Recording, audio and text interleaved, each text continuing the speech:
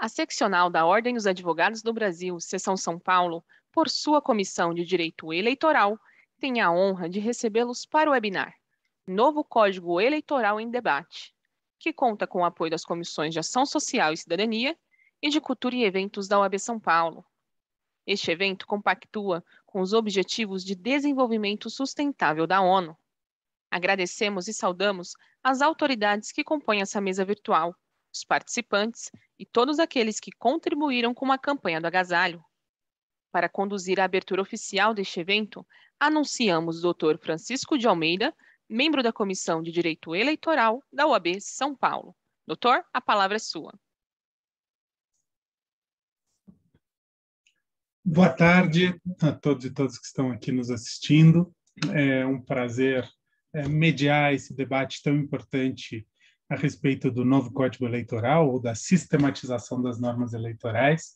É, é um tema, na verdade, o novo código envolve diversos temas, é, há pontos, sem dúvida, elogiáveis, novas alterações que são é, elogiáveis e que vêm é, em boa hora, e há pontos que merecem crítica é, também em um trabalho com profundas ou importantes alterações é, na legislação hoje vigente, além da sistematização é, de todas as normas em um único diploma.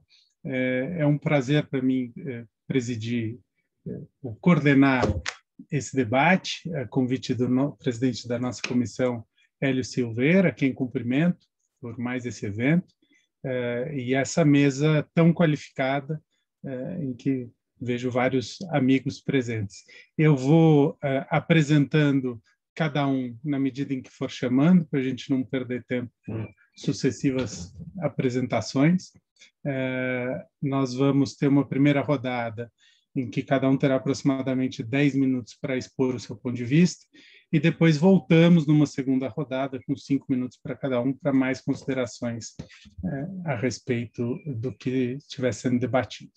É, Para começar, eu chamo é, Dr. Fernando Neisser, é, que é membro consultor da Comissão de Direito Eleitoral da OAB de São Paulo e advogado, além de entendedor da matéria. Dr. Fernando está com a palavra.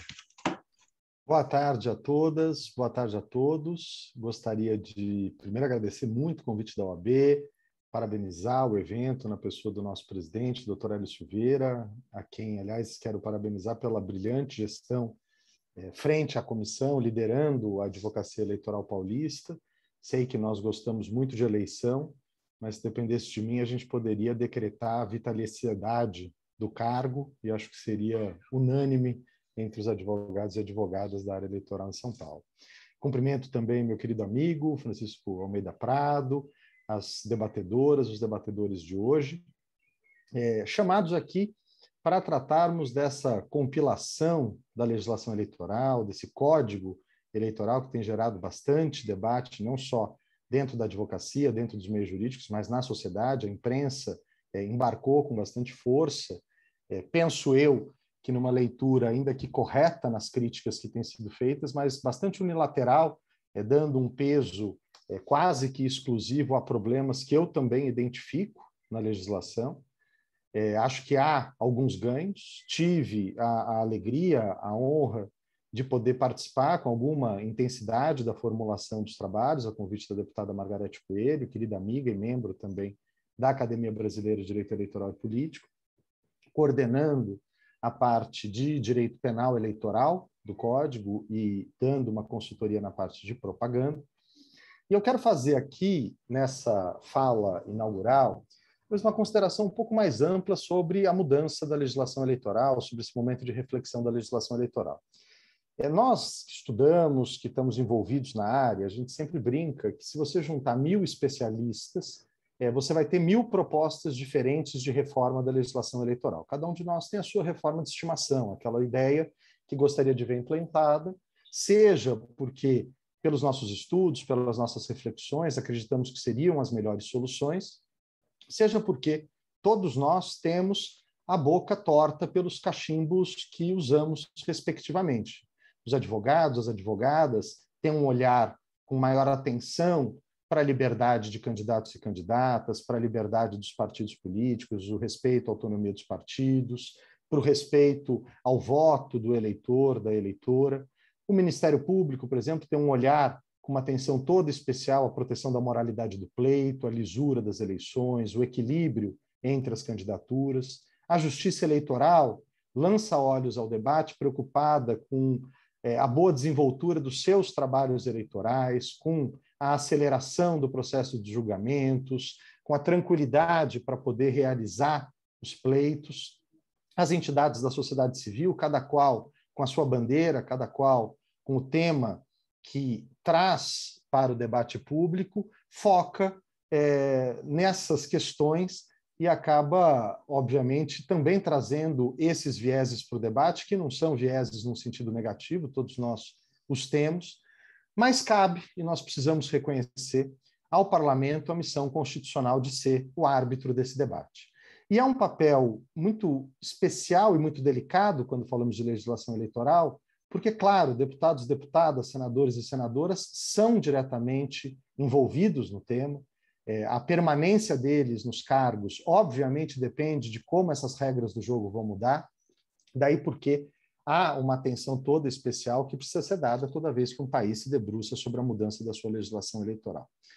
É, o que me parece necessário destacar no código, a par das críticas com relação às contas partidárias, que me parecem bastante pertinentes, com relação às regras de pesquisa, mas o que me parece uh, relevante trazer é que a gente chega a mais um ponto do eterno cabo de guerra que vimos assistindo no Brasil, é, digo eu, ao menos nos últimos quase 20 anos, que é o tempo que advogo na área, mas tenho certeza que desde antes, pelo menos desde a Constituição de 88, entre Justiça Eleitoral e Congresso Nacional.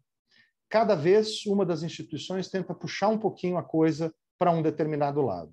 Uma decisão um pouco além dos limites daquilo que poderia a Justiça Eleitoral decidir, uma resposta a uma consulta que inova, criando obrigação. É, do outro lado, uma mudança legislativa que cria uma anistia de multas, falando desde lá atrás, quando esse movimento teve início, a é, limitação do número de vereadores nas câmaras municipais, resoluções obrigando a gastar o dinheiro dessa ou daquela forma. Esse clima de cabo de guerra vem gerando uma tensão crescente entre as instituições no Brasil. Houve, me parece, um certo apaziguamento em razão da pandemia no ano passado, quando as instituições conseguiram sentar de forma bastante civilizada para negociar a emenda constitucional do adiamento das eleições, mas o retorno do debate com a reformulação da legislação eleitoral acentuou com bastante intensidade essa diferença de visões. E aqui é preciso reconhecer que cabe ao parlamento dar a palavra final. Obviamente, todas as normas sendo passíveis de controle de constitucionalidade, não pela Justiça Eleitoral, mas do controle de constitucionalidade concentrado por parte do Supremo Tribunal Federal. A parte das contas partidárias, que acho que merece uma atenção toda especial, é, discordando de boa parte das soluções adotadas, mas é, acho que é preciso entendê-la e, e, ela serve como exemplo para todo o código, com algum toque de realpolitik, algum toque de pé na realidade do mundo da política. Nós não estamos num, num seminário exclusivamente acadêmico, no âmbito de uma universidade, discutindo uma dissertação ou uma tese de mestrado ou de doutorado. É, de anos para cá, a justiça eleitoral, especialmente em razão do aumento é, dos recursos públicos destinados aos partidos políticos, passou, sem fundamento legal, ao menos sob o meu ponto de vista, a entender que o dinheiro destinado aos partidos, seja via fundo partidário, seja via fundo eleitoral, é dinheiro público e que deve ser tratado como dinheiro público, quase exigindo-se licitações ou concursos públicos para as despesas. Esse movimento é, vem gerando uma crescente irritação que me parece justificável no âmbito dos partidos políticos, especialmente quando decisões com relação ao mérito do dispêndio e não à formalidade do dispêndio, não se aquela nota fiscal foi emitida corretamente, não se aquela empresa podia prestar aquele serviço, mas se faz sentido o partido fretar uma aeronave para colocar o seu maior cabo eleitoral para circular em 10 cidades na última semana antes da eleição. dizendo à Justiça Eleitoral não, deveria ter feito voos de carreira. Essa não é uma decisão da Justiça Eleitoral, não pode ser uma decisão da Justiça Eleitoral, não cabe à Justiça Eleitoral dizer sobre isso. É, essa irritação, me parece que exacerbada, leva ao grupo de normas propostos nessa legislação eleitoral no que toca a esse tema. E questões similares acabam sendo vistas em outras áreas do código. Portanto, é, nós estamos num momento de tensão. Acho que boa parte dessas normas é, vão sofrer um controle muito atento do Supremo Tribunal Federal, até porque o Supremo é, sabe, claro, que os parlamentares, apesar de terem a, a, a, missão constitucional de aprovar as leis, são diretamente afetados por elas, portanto, é, normas como a, as questão das pesquisas, a limitação das pesquisas eleitorais, me preocupa um pouco, porque eu tenho absoluta segurança que o Supremo Tribunal Federal vai tirar aquelas que implicam em limitação da liberdade de expressão e de informação do ordenamento jurídico, mas eu acho que esse é o espírito que está por trás dessa legislação. E isso não pode ser deixado de lado, é, com, com todo respeito ao entendimento contrário, numa leitura é, só de um olhar.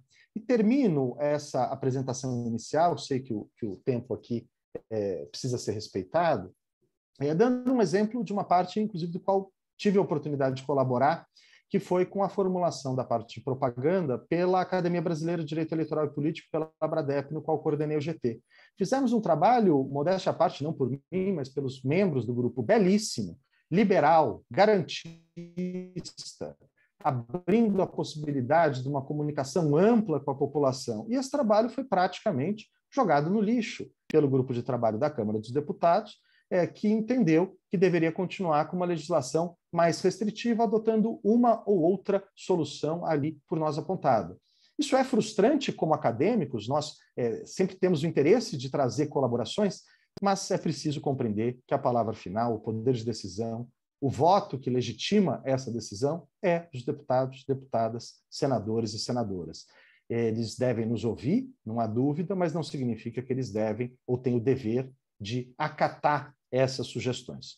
Faz parte isso do debate, acho que o debate foi muito bem conduzido pela deputada Margarete Coelho, foi muito amplo, centenas de especialistas participaram no Brasil inteiro, de todas as áreas, da Justiça Eleitoral, que teve uma participação bastante intensa também, do Ministério Público, da advocacia, da academia, há muito a melhorar, vamos ver como é que o Senado vai lidar com isso nas próximas semanas, mas é, alguns ganhos precisam ser reconhecidos, pelo menos é a minha visão, e vou deixar para tratar especificamente da questão dos crimes eleitorais, que me parece ter um bom avanço na minha próxima intervenção. Caríssimo mediador, devolvo-lhe a palavra, esperando não ter excedido o tempo que me foi reservado. Boa tarde. Então, obrigado pela exposição. Dentro do tempo, é, parece que não, há, não tem dúvida de que há um dos aspectos uh, relevantes que explicam muito do que está acontecendo é justamente essa tensão mesmo entre o Congresso e a Justiça Eleitoral e uma reação uh, do Congresso a alguns pontos em que ele entendeu que houve um excesso, por vezes, da Justiça Eleitoral. Acho importante essa, essa advertência de que a gente precisa uh, tentar entender o que está por trás de cada uma dessas mudanças, até para avaliar se a resposta foi proporcional, razoável, é, se houve excesso ou não, sempre numa tentativa de enxergar é, por diversos ângulos. E essa tentativa de enxergar por diversos ângulos é exatamente o que a gente está fazendo aqui. Não é por outra razão que é uma mesa de debate é, diversa, com olhares é, diferentes da advocacia, do Ministério Público, de entidades que acompanham o processo, é, o maior especialista em pesquisa aqui do Brasil, enfim, nós temos é, múltiplos olhares aqui para discutir aspectos específicos desse, desse código. O nosso presidente me passou aqui, nós temos inúmeros membros da Comissão de Direito Eleitoral presentes, eu vou aqui rapidamente nominá-los: Adriano Alves, Bruna Muriel, Carla Nicolini, Cássia Café, Milton Dota, Guilherme Paiva, Isabelle Paes, Joel Batista, Leandro Petrin, Leucir Rosa, Marcelo Melo Rosa, Marcelo Toledo, Marcelo Richman, Marcos Limão, Renato Camargo, Ricardo Stella, eh, Rubens Bessac, Iana Piva, Jansen Martins, Luciano, Luciano Caparro Santos, João Fernando Lopes Carvalho, Francisco Brito Cruz, Bruno Caires, e Bruna Muriel, além de diversos outros espectadores, a Comissão de Direito Eleitoral em peso aqui assistindo esse debate. Bom, passo agora a palavra à nossa próxima expositora, Bruna Martins dos Santos, integrante da Colisão Direitos na, na Rede. Agradeço pela presença e estou ansioso para ouvi-la aqui a respeito de suas, seus posicionamentos. Obrigada, doutor Francisco. E também aproveitar também agradecer ao doutor Freitas e à Comissão de Direito Eleitoral da OAB de São Paulo pelo convite também e cumprimentar meus colegas de webinar. Assim, acho que é uma verdadeira honra dividir a mesa com tantos nomes que eu conheço, respeito nesse campo e pessoas que são amigas também. Então, é muito feliz de estar aqui. É, no segundo momento, acho que só também apresentar um pouco a coalizão Direitos na Rede. É, nós somos um coletivo né, de entidades do terceiro setor, entidades é, da sociedade civil que tem trabalhado arduamente nos últimos anos na defesa dos direitos digitais no Brasil, inclusive na reforma do Código Eleitoral, redação e elaboração da LGPD também, vários outros processos né, relacionados a esse tema. É, o nosso coletivo surgiu logo após a tramitação do Marco Civil da Internet, né, que é uma lei que aparentemente as pessoas não cansam de querer disputar nos últimos tempos, é, e que também, enfim, e talvez tenha surgido inclusive pelo alinhamento das entidades à época sobre a necessidade de estratégias de defesa coletiva de direitos digitais e também foi muito atuante nesses outros processos que eu menciono, né? É, passando para os nossos comentários sobre o código, ou a sistematização, né, como a gente também pode chamar esse texto novo, ou que vai acabar saindo do, do Senado, eu acho que eu acabo repetindo um pouco a fala de algumas pessoas de, do que, que, que eu cheguei a ouvir, dialogar nesses últimos meses, quando eu comento que a coalizão ficou um pouco assustada, sim, com o ritmo da reforma eleitoral, é, no meio de uma pandemia e no momento onde o acesso aos parlamentares e debates legislativos ele fica ainda mais restrito, né? É, acompanhamento legislativo nesses últimos 15, 16 meses tem sido uma coisa que é um pouco problemática, talvez um pesadelo para quem tem feito né, o corpo a corpo. Então, acho que essa ressalva é importante fazer, mas que a gente reconhece também que os temas que são tratados no PLP são relevantes e urgentes também, e que ele promove, de fato, essas atualizações que são necessárias ao texto da legislação eleitoral diante de pontos que poderiam até ser considerados defasados, vagos ou até incompletos, mas que num primeiro momento,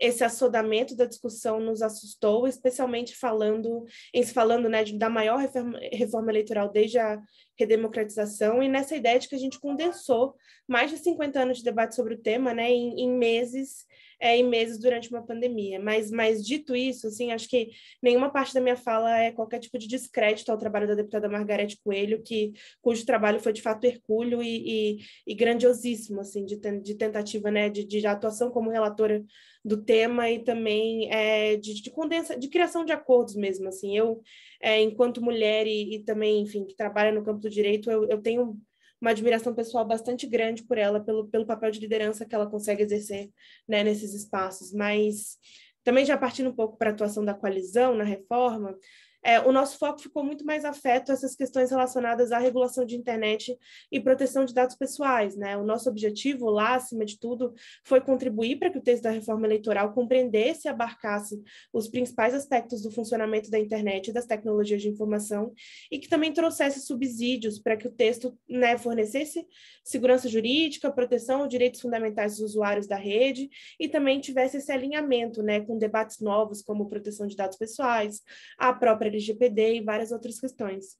E aí, o nosso foco ele girou em torno de alguns temas, né? O primeiro foi é, propaganda eleitoral na internet, a gente defendeu muito uma linha de adequação das regras de propaganda eleitoral à promoção da liberdade, da liberdade de expressão, transparência e enfrentamento à desinformação também, né? Bem como discussão também sobre algumas modalidades de abuso que poderiam se dar a partir da internet. Aqui ficou muito claro, ficaram claros debates como impulsionamento e transparência também como pontos chaves, né, desse debate para que a gente também permitisse esse alinhamento é, mais do que necessário entre a legislação de proteção de dados, Marco Civil e o Código Eleitoral. É, o debate sobre proteção de dados pessoais também, para a gente, é, privacidade e proteção de dados pessoais foram vistos como pontos estratégicos e deveriam ser vistos né, pelo Código Eleitoral para promover essa, essa sintonização entre os dois debates.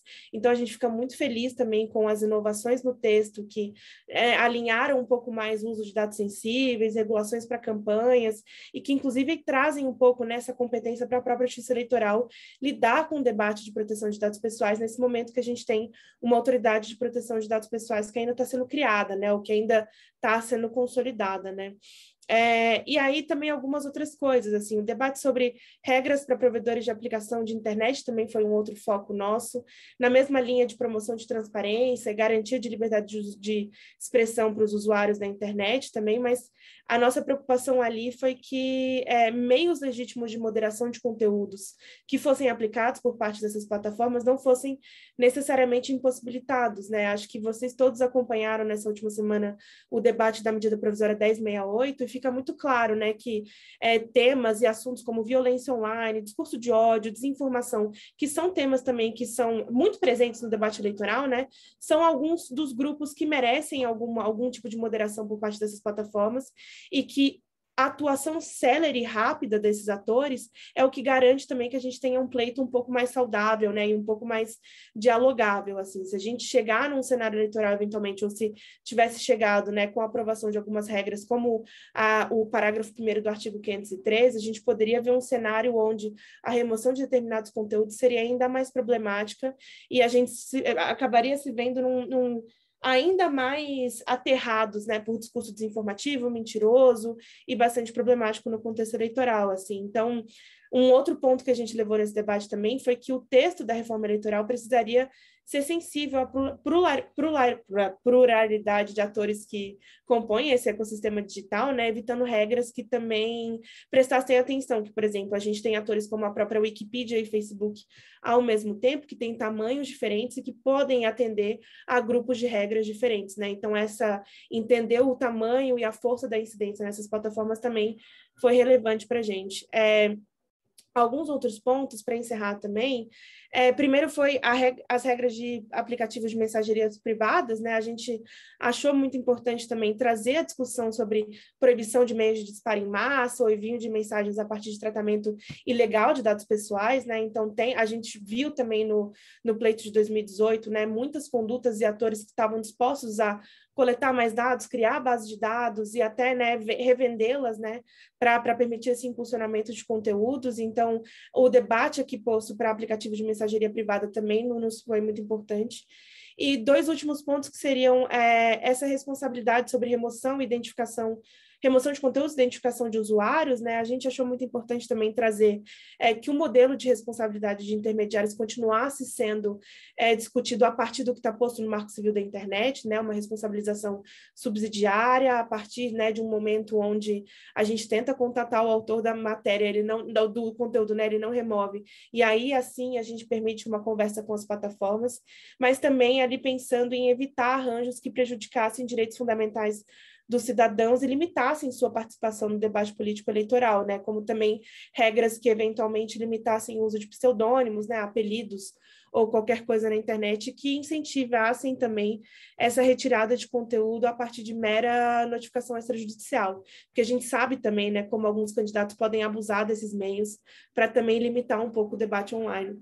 E aí, por fim, eu acho que vale também só tratar a parte de crimes eleitorais também, que eu acho que eu trago na segunda intervenção, mas para a gente também foi bastante crucial tentar debater o aperfeiçoamento dessas normas, né, de maneira geral, para prevenir essa e limitar qualquer, quaisquer movimentos que tendessem na linha de criminalização da livre expressão ou de condutas cotidianas de usuários da internet, né? Porque ao mesmo tempo que a gente tem conhecimento dos, dos crescentes esquemas, né, sobre disseminação de desinformação, a gente também sabe que existe um conjunto de usuários da rede que ainda tem um conhecimento muito limitado sobre como as coisas funcionam e que poderiam acabar incidindo nas condutas que estão ali, né, ou no grupo de condutas vedadas ou no grupo de crimes, sem saber de fato sem saber, porque desconhecem como funcionam plataformas como o WhatsApp, como o YouTube também, e esses esquemas todos existem, assim. Então, acho que, assim, numa linha geral, é muitos pontos que a gente traz para enquanto coalizão, né? E aí, acima de tudo, acho que, assim, é, talvez como vitória, e para encerrar mesmo, assim, a gente vê como uma grande vitória essa, essa, discussão final mesmo, né, no debate do código, onde a gente conseguiu alguma linha de alinha, alguma alguma espécie de alinhamento né, entre definição ou, ou, uma tentativa de traçar uma definição do que, que era desinformação ali. Então, a harmonização do texto em alguns textos para a gente foi, foi fundamental também.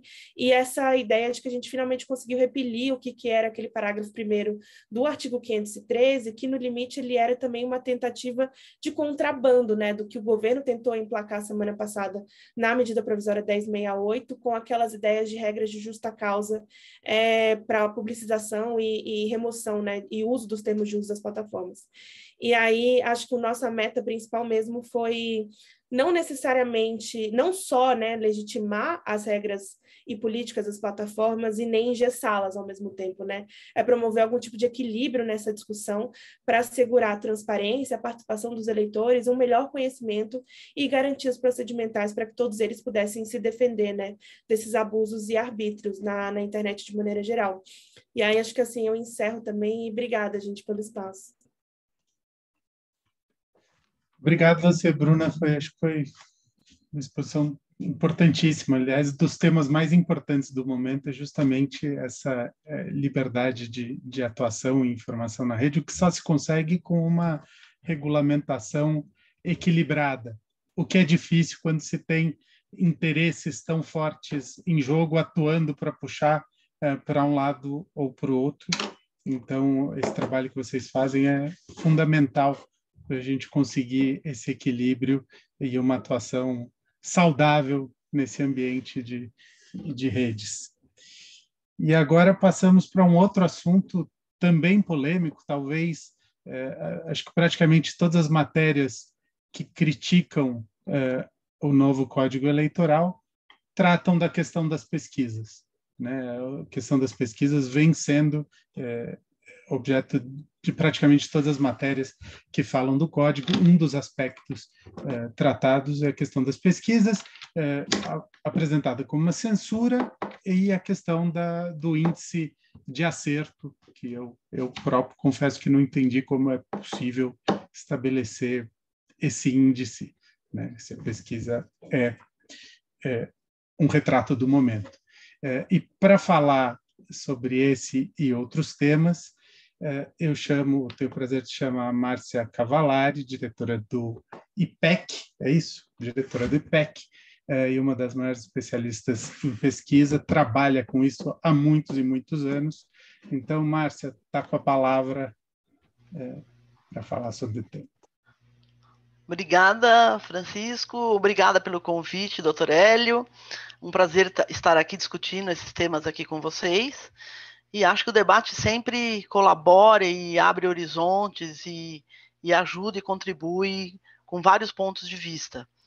Então, no nosso caso, né, no que tange aos artigos do, do novo código relacionados às pesquisas, a gente teve vários avanços, avanços importantes, é, avanços que ajudam é, na qualidade da informação que, que será divulgada aos cidadãos, é, desde 2018, a ABEP, que é a Associação Brasileira das Empresas de Pesquisa, então as empresas de pesquisa se associam a essa entidade de classe, que seguem ali um código de conduta, um código de ética, e que discutimos as questões técnicas eh, relativas eh, às pesquisas e tal.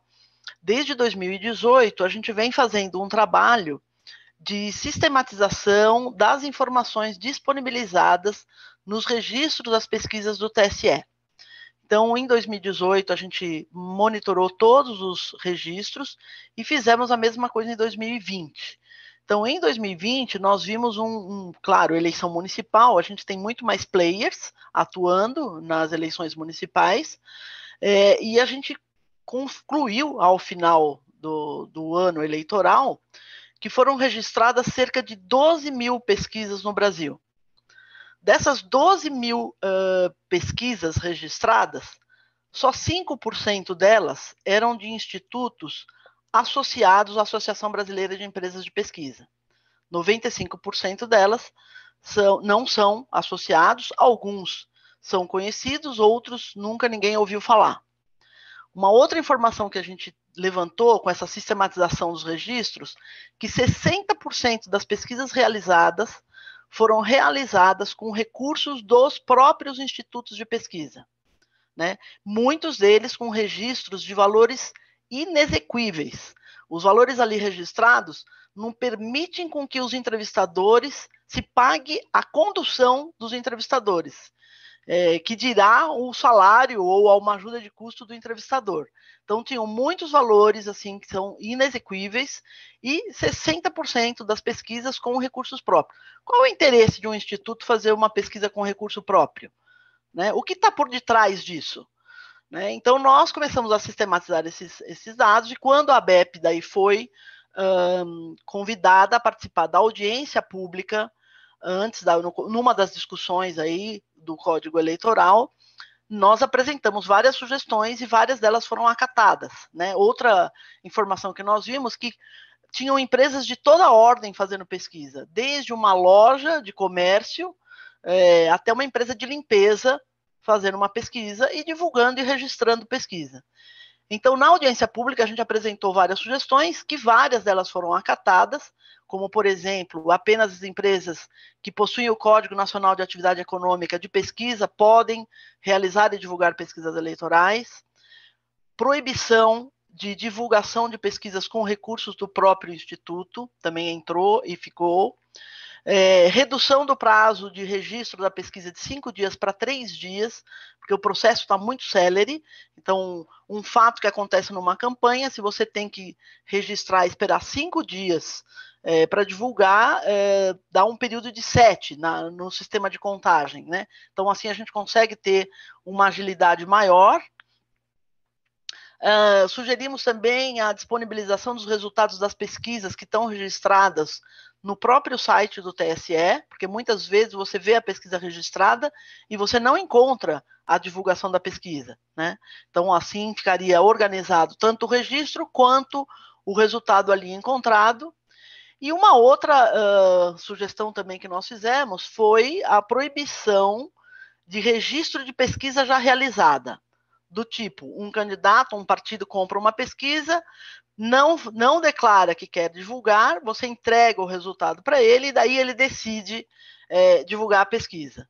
Só que entre você fazer e registrar, o período de, de tempo que vai passar é, nesse processo todo dá quase 15 dias. Né? Então, quando a pesquisa for divulgada, ela já não reflete o momento no qual ela foi realizada.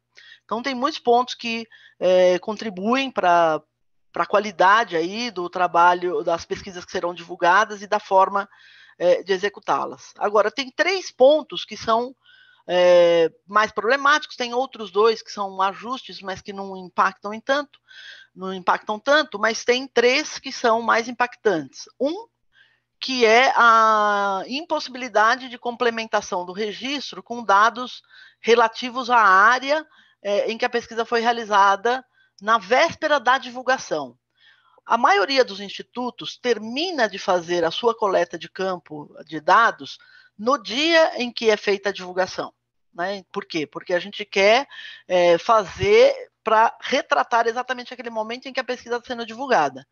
Então, se a gente tem que informar na véspera da divulgação é, os locais onde nós estaremos fazendo o trabalho, isso pode impactar em um viés por ações de militantes, de partidos, e também pela própria segurança do nosso entrevistador. A gente tem, tem sofrido em alguns estados, como por exemplo no Rio de Janeiro, é, muita perseguição dos entrevistadores com milícias, com ataques, né? É, então, preservando a questão da, da, do, da, do trabalho do nosso entrevistador, da, da integridade física dele, é, a gente recomendaria que ficaria, ficasse exatamente como está na resolução. No dia da divulgação, junta-se os locais, os municípios que foram pesquisados, os setores censitários, os bairros, os pontos de fluxo onde foram realizadas as pesquisas.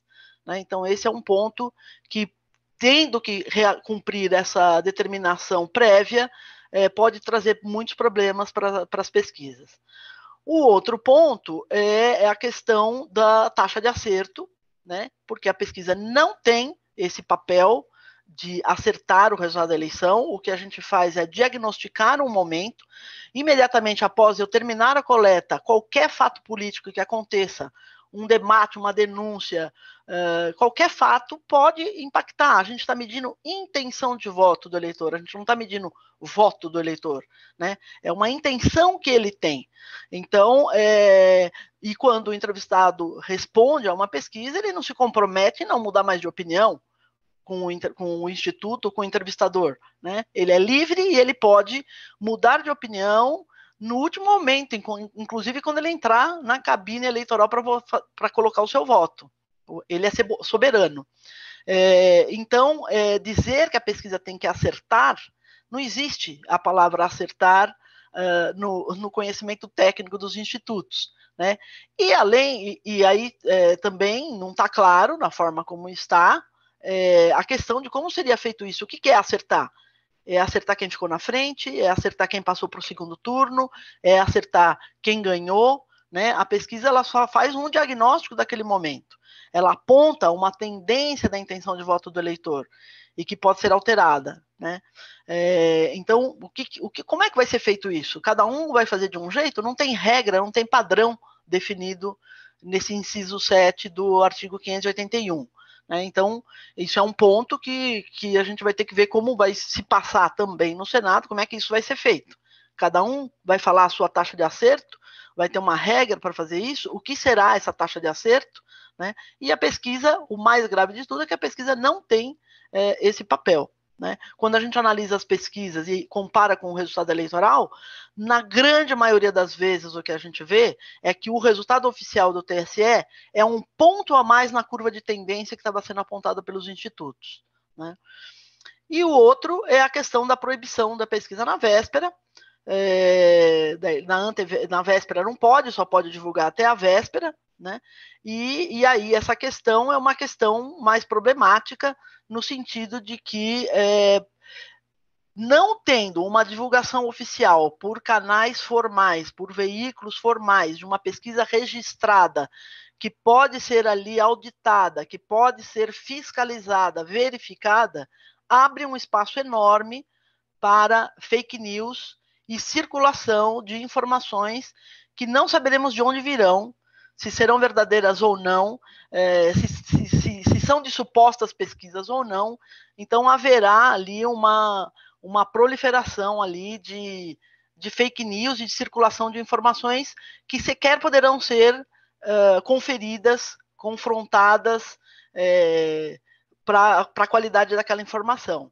É, isso daí, como também o, é, já foi dito, já teve matéria de ação de inconstitucionalidade no passado, acho que em 2006, né, e que isso uh, tinha sido com um voto ali do relator do ministro Lewandowski, um voto muito forte em relação a essa questão da proibição das pesquisas.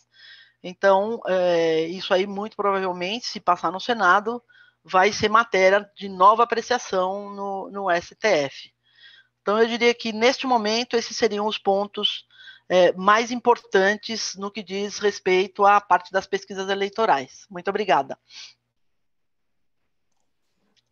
Obrigado, Márcia. Acho que só ressaltar aqui alguns pontos. Primeiro, bom saber que a matéria foi discutida com, com especialistas e que em muitos pontos a gente avançou.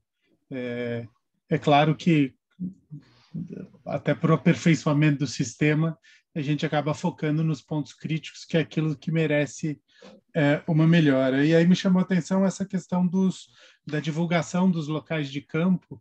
Uh, acho que para além da, da, questão da integridade física, uh, a preocupação com o uh, possível interferência no resultado né, das pesquisas, é, de você coordenar grupos para enfim, aparecerem naqueles lugares. É, enfim, a questão é, é muito relevante, acho que isso é matéria que merece um aprofundamento maior. É, bom, passo já então para a nossa próxima expositora. Eu fiz uma pequena é, inversão aqui, em razão de compromisso é, da nossa expositora, então queria chamar é, a nossa participante professora Gabriela Araújo, recém-titulada doutora em Direito Constitucional, é, para fazer sua exposição é, e aqui nos brindar suas, sua avaliação. Obrigada, obrigada. Tô, ainda estou comemorando, nem acredito que chegou o dia. Eu me lembro de. Bom, boa tarde a todas e todos, mas eu me lembro do ano passado, eu desesperada com o doutorado, eu fiz uma reunião pelo Zoom com o Francisco e com o Fernando Neisser, e ambos ficaram me consolando, falando que ia chegar, que ia dar certo, chegou. Então, lembrei agora vendo vocês de novo aqui juntos no Zoom. Queria Agradecer ao Dr. Hélio, nosso presidente, pelo, por mais esse convite participar de uma webinar tão rica, cumprimentar as debatedoras, debatedores presentes na mesa. Vai ser um desafio falar depois de, de, né, de tão brilhantes exposições, então eu optei por fazer uma explicação, quer dizer, para trazer aqui algumas uh, ponderações sobre o que eu já li do Código Eleitoral e concordando com o Fernando Neisser de que é, a deputada Margarete, acho que a, Bruna né, também falou que a deputada Margarete ela fez um trabalho hercúleo, ela é muito capacitada, realmente, assim, se fosse para alguém fazer uma sistematização das normas eleitorais, é, teria que ser ela, porque a gente vê como ela se dedicou, mas, né, e aí vem o mas, sempre tem um mas depois de tantos elogios, é, obviamente que tantos, tantos artigos e tantas alterações demandariam aí agora, depois de, desse primeiro esboço que ela nos trouxe, um debate ampliado com a sociedade. E por isso que é, eu anotei aqui alguns pontos que eu acho que a gente poderia, talvez, é, trazer aí para o debate, para a gente entender melhor o que está acontecendo e deixar esse código, até já, já conversamos em outras webinars, eu já defendi isso, para depois das próximas eleições, né? Não tentar passar tão de forma tão assodada. Então vamos ver. É, primeiro, a primeira, acho que eu vou começar pela questão das mulheres, que foi um ponto que muito nos preocupou desde o começo. E nessa questão de, de inclusão da participação feminina na política, eu acho que o código até que foi, ele avançou em alguns pontos, né? Ele poderia ter avançado mais, mas ele não trouxe nenhum retrocesso para a participação feminina na política, para as conquistas que nós já tivemos, né? Via legislação e via jurisprudência, ao contrário de outros projetos de lei que estão aí tramitando e que a gente que são objetos de crítica. Pelo contrário, acho que a deputada Margarete ela ela acatou várias sugestões, inclusive, que a gente teve a oportunidade de fazer via Comissão de Direito Eleitoral, um artigo que eu escrevi em coautoria com o Dr. Marcelo Andrade, em que nós apontamos um ponto lá da questão da violência política de gênero que não estava no código e ela incluiu, então, é, queria até cumprimentá-la por isso. Só que ficou aí algumas brechas. Por exemplo, vou voltar a bater nessa tecla que é uma conquista do movimento feminista é, e da evolução dos direitos humanos das mulheres, usar o termo gênero ao invés de sexo, até para incluir as pessoas trans. É, continuou usando, apesar da jurisprudência do TSE já falar em gênero e não em sexo, toda a normativa que trata de mulheres e de divisão de cotas fala em cotas de sexo e não cotas de gênero. Então, deixou-se de falar de uma política afirmativa no texto do Código. Outro ponto que talvez possa poderia ter sido é, melhorado é com relação à propaganda, né? Tanto eleitoral como partidária, e aqui já fazendo um alerta de que voltou com o código eleitoral, voltou a propaganda partidária que havia sido extinta, então ela retornou. E aí, quando se fala de garantias de, de espaço para as mulheres, é, essas garantias não são dadas de forma igual às pessoas uh, negras, como estava determinado por jurisprudência do TSE e do STF. Então, eles falam que é preciso garantir espaço para pessoas é, negras, indígenas e com deficiência, né, mas não determina o tempo dentro das inserções anuais da propaganda partidária. E falam também que na propaganda é, eleitoral, quando fala de garantia para mulheres, nem menciona, não chega a mencionar as pessoas negras. Então, é, essa é uma, esse é um ponto que poderia ser aperfeiçoado no Senado, ou se a gente deixasse para discutir o código um pouco mais para frente. É, sobre a volta da propaganda partidária, precisaria estudar melhor. Como eu disse, eu fiz uma leitura dinâmica do texto do código, porque eu tive acesso à última versão ontem à noite, e eu notei que ela volta e a garantia para as mulheres é somente inserções, fala-se inserções anuais, não sei se vai ter algum outro tipo de propaganda que não seja via inserção. É, Outra conquista jurisprudencial que deixou de ser contemplada pelo Código Eleitoral, por essa redação do Código Eleitoral, seria a garantia de 30% de candidaturas femininas nas disputas para as composições das direções partidárias, das direções intrapartidárias. Não se menciona isso, apenas se diz que os partidos deverão conter nos seus estatutos normas de repressão é, e prevenção contra, de discrimina contra a discriminação e violência contra a mulher, e fala que é preciso garantir a participação feminina, mas não estabelece exatamente os 30%, como mencionava lá a resolução. Embora a gente tenha que reconhecer que, que a, a determinação de que os estatutos garantam ali normas de repressão à violência contra a mulher é muito interessante e bem-vinda, e mais uma vez aplauso à deputada Margarete, que a gente sabe que isso teve muito da contribuição dela. É, fala também de conta específica para destinação dos 5% do fundo, dos recursos do fundo partidário que devem ser é, destinados exclusivamente às mulheres, mas ao mesmo tempo, lá no fim, nas disposições finais, estabelece que os recursos que não foram aplicados em função de 2000, acho que é de 2019 até aqui, que não foram aplicados em mulheres por conta, e aí se, se, se, diz que é por conta da pandemia, que não se pôde é, destinar os 5% de recursos para as mulheres, que eles poderão ser gastos até 2022. E também se estabelece ali na parte final do código é, que seria possível, é, já, já, já determinando que se cria uma legislação para pensar em financiamento e, e, rediscussão de multas aplicadas aos partidos políticos até hoje, por conta dos 5% que não foram aplicados nas campanhas na, é, desculpa, na, na promoção da difusão e da participação feminina na política. Então, a gente vê que essa questão dos meros 5% do fundo partidário que os partidos devem aplicar ordinariamente né, para promoção e difusão da participação feminina na política vem sendo aí o grande, um grande, assim, um grande retrocesso em todas as propostas legislativas que a gente tem, vem observando desde o começo do ano, inclusive no Código Eleitoral, a gente observa aí a preocupação do parlamento, que reflete a preocupação dos partidos que não conseguem, tendo quase 50% de filiadas, simplesmente não conseguem aplicar 5% dos recursos do fundo partidário em participação feminina na política. Gente, eu falo e já começo a ficar revoltada, desculpa. Calma. É, é, propaganda vedada, colocaram, foi, foi instituído um, dispositivo determinando que a é, propaganda que, que tenha discurso de ódio ou discriminação contra a mulher vai ser inclusa como propaganda vedada. Isso é muito interessante. É, aumenta a pena com relação às fake news contra de discriminação de gênero contra as mulheres, né? Eles não usam discriminação de gênero, tá? Eles sempre usam sexo ao invés de gênero, mas está valendo. É, foi incorporado já a, a, alteração legislativa que tinha sido aprovada naquele, naquela que começou como PEC do Distritão e depois virou coligação, depois a gente não sabe o que foi mais, que é com relação a se contar os votos dados para as mulheres em dobro, para cômputo do fundo partidário, tanto os votos dados para as mulheres como para pessoas negras. É que eu fiz uma colinha aqui, gente, que é muita coisa, viu? Por isso que eu estou é, e também com relação ao FEFEC, o, Fundo Especial de Financiamento de Campanha, é, as mulheres e pessoas negras e indígenas eleitos terão seu, seu, seus postos computados em dobros para fins de Fundo Especial de Financiamento de Campanha, o que é muito bacana, porque também inclui as pessoas negras e indígenas.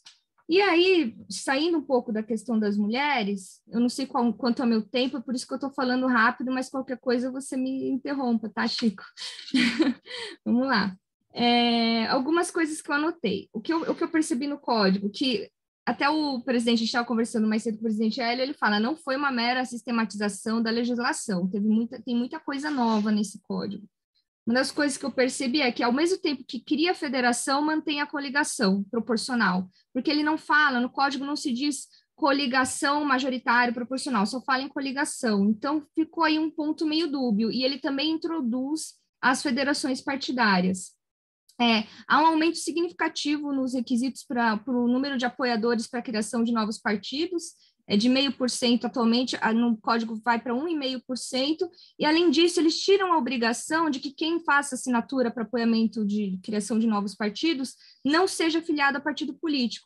Então, isso beneficia, a gente sabe que teve um caso recente de um, de um, de um chefe do executivo que queria criar um novo partido, e a maior parte dos apoiadores dele já eram filiados a outro partido político. Então, acho que essa foi uma dificuldade que ele teve né, para criar um novo partido em tempo, e aqui no é, o código facilitaria muito a vida dele, porque não está escrito mais né, na redação do código que é preciso não estar filiado a nenhum outro partido para você apoiar a criação de um novo partido.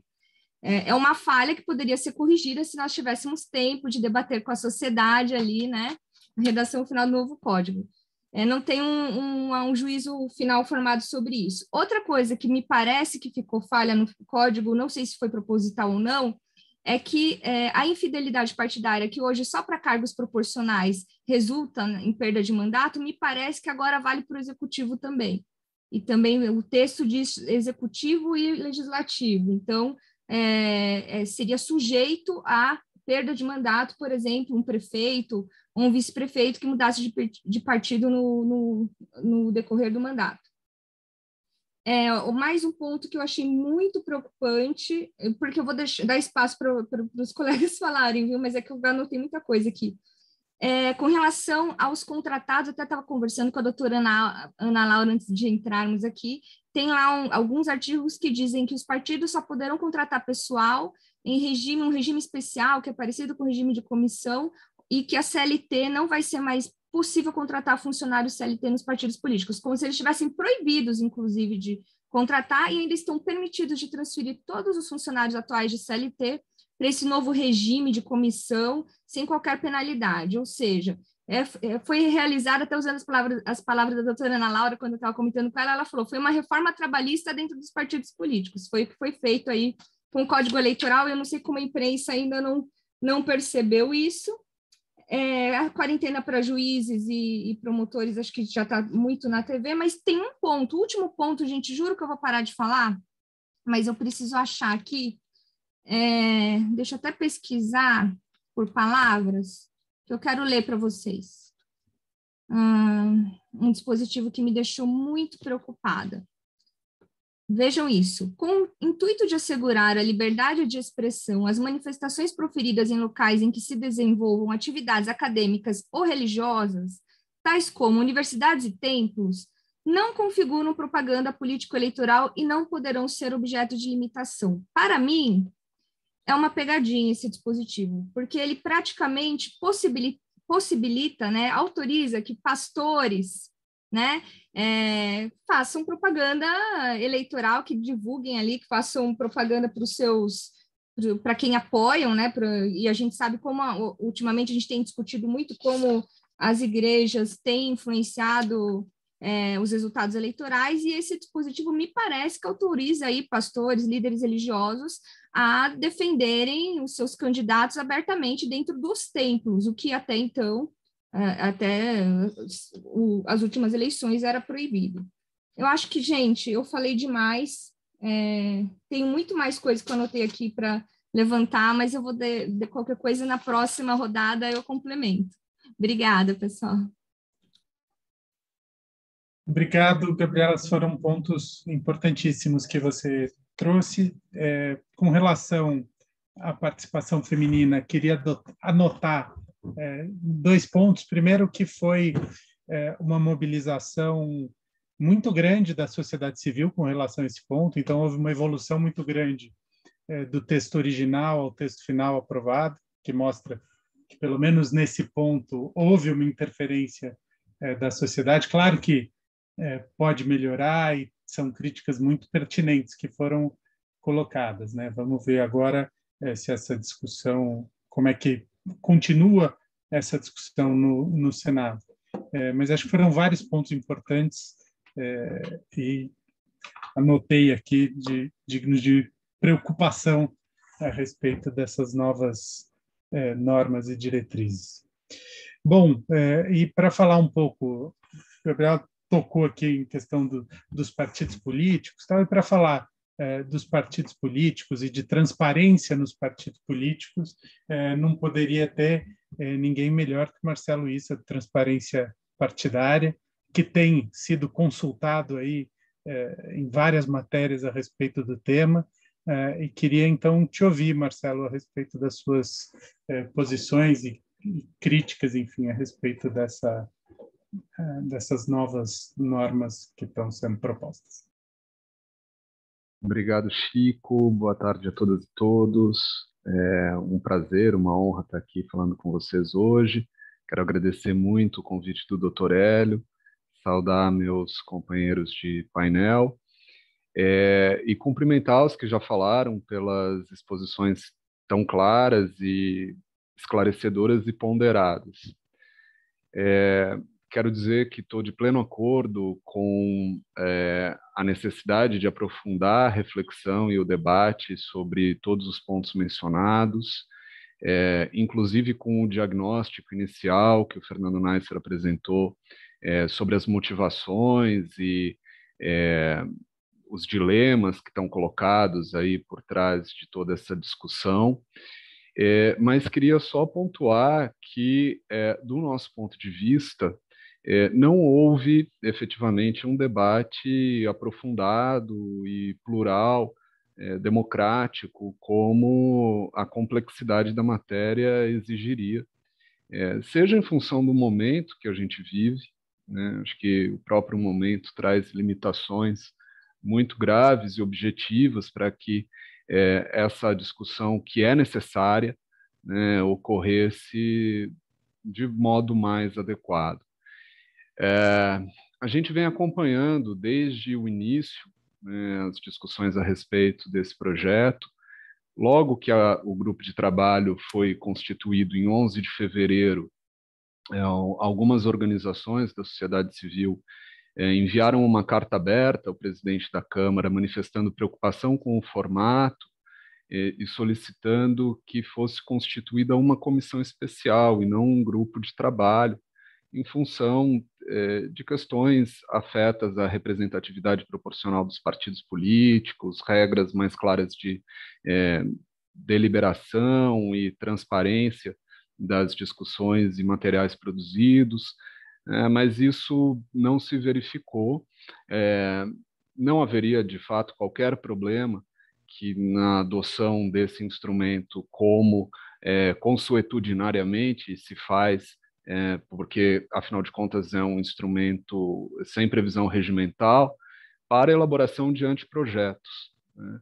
Mas, do nosso ponto de vista, houve um prejuízo é, bastante significativo é, do ponto de vista com é, relação né, às, às diretrizes do processo democrático e mesmo do devido processo legislativo constitucional, na medida em que, de fato, nós estamos diante de um projeto de código. Né?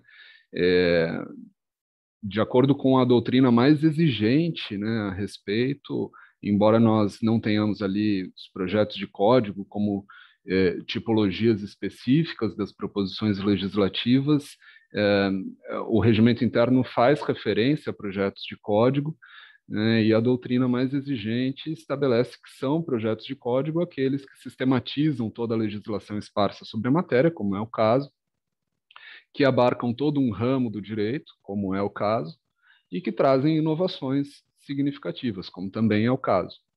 Né, e é, a disciplina das comissões, é, de acordo com o artigo 58 da Constituição, é, deve ser observada e cumprida de acordo com as determinações do regimento interno das casas legislativas e o regimento interno da Câmara dos Deputados afirma categoricamente lá no artigo 34 que as, é, os projetos de código devem ser analisados por comissões especiais. É, então, é, acho que tem aí um problema na, na origem né, é, e na, na forma com que essa matéria tramitou até o momento.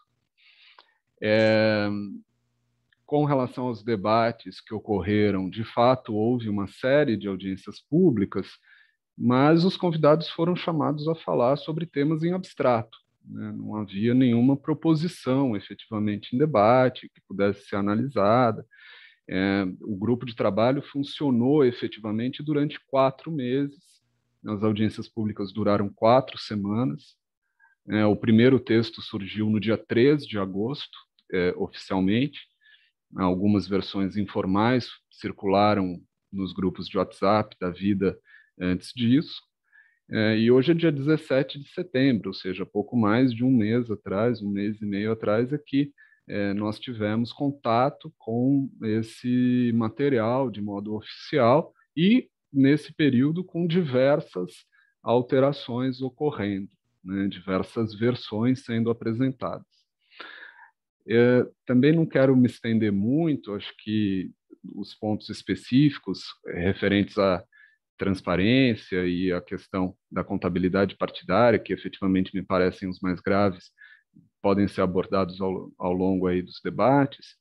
É, mas gostaria de é, compartilhar que quando a primeira versão surgiu, é, de fato, a, a, nossa expectativa foi até mesmo, diria assim, contrariada, porque é, o projeto trazia realmente, é, no, no, no, nos primeiros capítulos ali, uma, uma sistematização, né, uma compilação daquilo que já constava na legislação, mas quando chegou na parte da, das contas eh, partidárias, nem tanto das contas eleitorais, aí sim nós ficamos muito assustados com o que estava posto, eh, em termos especialmente eh, de prejuízo à transparência desses dados, dessas informações. Né? Porque entendo que é absolutamente legítimo e necessário esse debate que o Nasser trouxe no início, né, sobre é, o nível de interferência que a justiça eleitoral pode é, adotar na análise das contas, mas ainda que nós adotemos é, uma perspectiva é, muito radical no sentido de assumir a discricionariedade total dos partidos para utilizar os recursos públicos que recebem né, e deixar apenas para o eleitor a decisão de é, na, premiar ou penalizar os partidos pelo uso que fazem é, através do voto, é necessário que haja transparência. Né? E isso parece gravemente prejudicado na medida em que se adota um sistema cujo acesso é restrito para prestação de contas, né? e, e, na prática se inviabiliza a, a possibilidade de consulta né, aos dados das prestações de contas partidárias. Então, efetivamente, esse nos parece um ponto é, bastante importante que, de qualquer forma, é, acho que as contribuições que e os pontos de debate que surgiram até o momento já revelam que é, existe muito a se é, aprimorar nesse, nesse material, né? E que seria muito temerário, portanto, que o Senado Federal, em uma semana, fizesse uma chancela desse, de, dessa proposição, por mais méritos que ela possa ter, e de fato existem alguns, né? E é, não se trata, para concluir, Acho que isso é uníssono, né? Acho que todos aqui é, têm essa compreensão de uma mera sistematização. Né? Existem ali que sejam entre 20% e 30%, que é o que a própria relatora, o presidente da Câmara, admitem de novos dispositivos ou de inovações, num conjunto de quase 900 artigos, é, esses 20% ou 30% são centenas de dispositivos que merecem análise mais detida. Né? E mesmo em relação àqueles que são compilados, é, perde-se aí, entendo, a oportunidade de realizar aprimoramentos que seriam importantes e possíveis de serem realizados se essa discussão ocorresse num ambiente de maior tranquilidade, né, de maior normalidade, para da vida nacional. Então, é, não só considerando a pandemia, mas também toda a grave crise política institucional que a gente vivencia. É, acho que também não quero ultrapassar muito tempo, essas seriam as colocações iniciais, depois a gente pode é, descer nos detalhes do, enfim, das críticas, mas de modo geral é, existem esses prejuízos muito explícitos com relação à transparência e com relação à integridade, a gente também tem algumas ressalvas na medida em que é, o projeto estabelece, por exemplo, o prazo de 180 dias para análise das contas, permite que irregularidades que não ultrapassem 20% né, do, do montante total recebido é, não possam ser penalizadas e poxa, pensando num partido grande, isso pode alcançar aí a casa de dezenas de milhões de reais.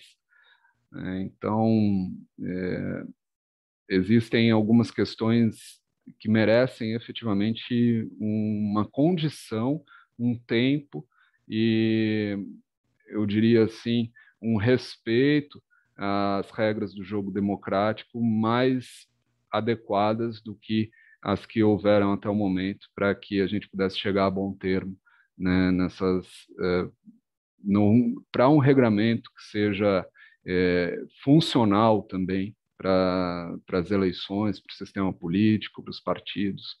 Enfim, agradeço muito o convite, fico à disposição aí para o debate.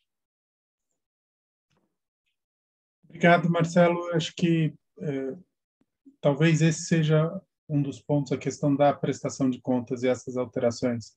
É, talvez seja uma das matérias em que houve mais alteração, é, e, e, talvez esse seja um dos pontos é, menos debatidos efetivamente, né? Porque é, é um projeto muito grande. Me, me, parece que em algumas áreas específicas houve de fato um debate mais aprofundado de determinadas matérias, é, mas essa é uma matéria específica que me parece é, que merece mesmo um debate mais aprofundado, né? Porque as mudanças é, são substanciais.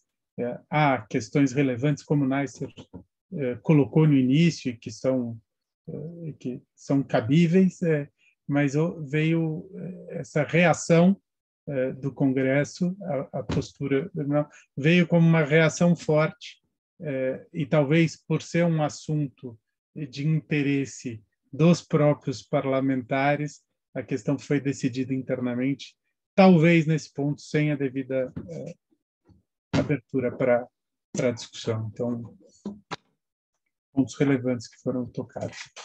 E agora, é, gostaria de ouvir eh, a doutora Ana Paula Lunardelli, eh, promotora de justiça do Ministério Público, ouvir um pouco a sua visão a respeito dessas alterações. Como disse, é importantíssima essa multiplicidade de visões, a gente quer ouvir aqui nesse evento as mais diversas posições a respeito do, desse novo código ou sistematização das normas eleitorais. Então, Obrigada. passo a palavra. Obrigada, doutor Francisco Almeida Prado. Só uma correção, meu nome é Ana Laura. Ana Paula é minha cunhada, mas ela tem o mesmo sobrenome que eu. Uh, meu nome de solteira é Bandeira Lins. Então, eu acho que essa confusão talvez uh, seja comum por conta do, do parentesco com, com, uma juíza de direito, né, agora aposentada. Mas boa tarde a todos e a todas. É uma honra, é uma alegria ter sido convidada para um evento tão importante como esse, que será debatido o novo Código Eleitoral. Pessoas tão ilustres, advogados, advogadas, especialistas, pesquisadoras. Agradeço calorosamente o Dr. Hélio Freitas de Carvalho da Silveira, presidente da Comissão de Direito Eleitoral da OAB de São Paulo, pela gentileza do convite feito, cumprimento o doutor Francisco Almeida Prado, nosso moderador, é, em nome de quem saúdo toda a mesa. E é, a minha palestra é um pouco semelhante à do doutor Marcelo Issa, aliás, com quem eu, eu concordo inteiramente com o que ele diz, né? E para contar um pouco essa história desse, desse projeto, eu acho que é, eu preciso uh, me demorar um pouco mais nele, até porque eu acho que ele chega ao que o doutor Fernando Neisser fala, que é, na verdade, uma reação ao Poder Judiciário e coloco, por que não, uma reação também ao Ministério Público. Né? Então, esse projeto de lei que era aguardado pela comunidade jurídica, porque, porque ele era alardeado, que ia sistematizar eh, as normas de direito eleitoral, era aguardado pela sociedade civil, pelos parlamentares também, com essa promessa de sistematizar e promover aperfeiçoamento na legislação eleitoral, que é dispersa em vários textos, né? e é, ela vinha com a promessa de que ia sistematizar e trazer uma linguagem mais compreensível ao cidadão. Então, por isso mesmo, ninguém uh, se opôs a essa iniciativa, né? embora nós trabalhássemos já com as leis todas dispersas aí, no ordenamento jurídico. Né? E já estávamos muito acostumados a mudanças na lei 9.504, que é a lei das eleições, em anos não eleitorais. Mas o que é, causa muito é, desconforto é que esse grupo de trabalho criado na Câmara dos Deputados, alegando esse objetivo nobre, ele fez muito mais do que uma sistematização de normas eleitorais. Ele promoveu, sem discussão, sem transparência, uma verdadeira reforma na legislação eleitoral e em pontos muito sensíveis. Ele não podia alardear, vou mudar a ficha limpa, eu vou mudar a prestação de contas, eu quero um passe livre para gastar. E, e, aqui me perdoe, doutor Fernando Neisser, dinheiro público sim. É, na, é, fez mudanças na propaganda, na propaganda é, na internet, é, nas pesquisas, é, nas ações caçatórias com prazos reduzidos. Né? E foi uma reforma que ela pouco foi notada durante os quatro meses de maior atividade desse grupo de trabalho, porque não havia, justamente o que o doutor Marcelo falou, um texto divulgado. Então, como é que você vai falar numa audiência pública? Como é que você vai ver se tem contrariedade ao que está ali, se não tem um texto escrito? Então, eu acho que esse é o maior defeito do código, é essa ausência de debate, é uma ausência de texto escrito. É, eu cumprimento a doutora Margarete pelo esforço que ela fez, mas a forma como foi lidada a questão, sem ouvir o Poder Judiciário, como deveria, sem ouvir o Ministério Público. Eu acho que não é convidar um e outro membro do Ministério Público para ir lá, porque é, realmente eu tive colegas que foram lá, o doutor Zílio, uh, o doutor Luiz Carlos, da, que foi PRE aqui em São Paulo, né? e assim, não dar acesso a texto é não promover debate e é não ter transparência. Né? E essas reuniões, elas podem estar publicadas aí nos canais da Câmara, no YouTube, mas não são audiências públicas. Né? Então, assim, é, realmente, o que foi falado pela doutora Gabriela, num momento de pandemia, o doutor Marcelo também acentuou isso, um momento de pandemia que as pessoas estão dispersas, né? E eu lembro que eh, na Câmara corriam vários PLs ao mesmo tempo, então a gente tinha PL de violência política, de sobras eleitorais, de cotas, né, de prestações, de contas. Então, então, assim, tinham vários PLs tramitando ao mesmo tempo e para o Código Eleitoral não foi chamada atenção porque uh, ele só ia sistematizar a legislação eleitoral, ia trazer uh, pontos de esclarecimento uh, para a população, né, para o cidadão comum que, que quer saber como é que ele faz para votar, se ele quiser fazer um projeto de lei, de iniciativa popular, né? É, assim, o código, é, já, a gente jamais pensaria que ia mexer tanto na lei da ficha limpa, né? Que, aliás, é, é uma lei aí que vem é, da iniciativa popular, né? Bom, é, eu acho interessante que numa das versões do código, né? Está é, dito lá que houve reuniões de audiência pública, e como eu já disse, isso não é audiência pública que dignifica a existência de um, de um código, né? mesmo porque as pessoas que participaram dessas reuniões começaram a apresentar dissensos depois do texto público. Né? E aí vieram notas da sociedade civil, vieram notas do Conselho Nacional de Procuradores Gerais, veio nota é, da Associação Nacional de Procuradores da República, né? Bom,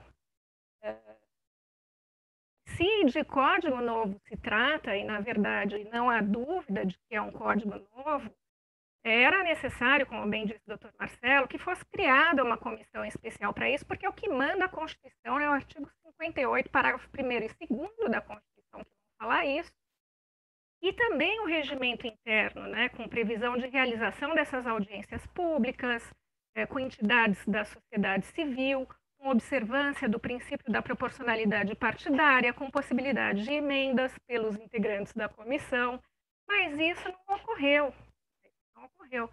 É, e os parlamentares foram surpreendidos pelo texto novo, que teve uma, uma tramitação é, supersônica, como diria o meu colega Zílio, lá do Rio Grande do Sul. O GT ele trabalhou mais detidamente nos quatro, eh, quatro meses no texto, né? Protocolo ocorreu em 3 de agosto, em 31 de agosto foi aprovado um pedido é, de urgência, né? Sem ter urgência nenhuma, a urgência foi criada pelo GT, porque eu acho que nós poderíamos trabalhar com a legislação, sim, e melhorar aquilo que não era tão bom, né? Assim, é, eu acho que o projeto é, tem o mérito de antecipar os registros de candidatura e deixar isso mais estabilizado, mas ele tem esses pontos que não são, é, que não foram absolutamente discutidos com ninguém. Então isso é, é, é, é causa de ressentimento de verdade mesmo, né?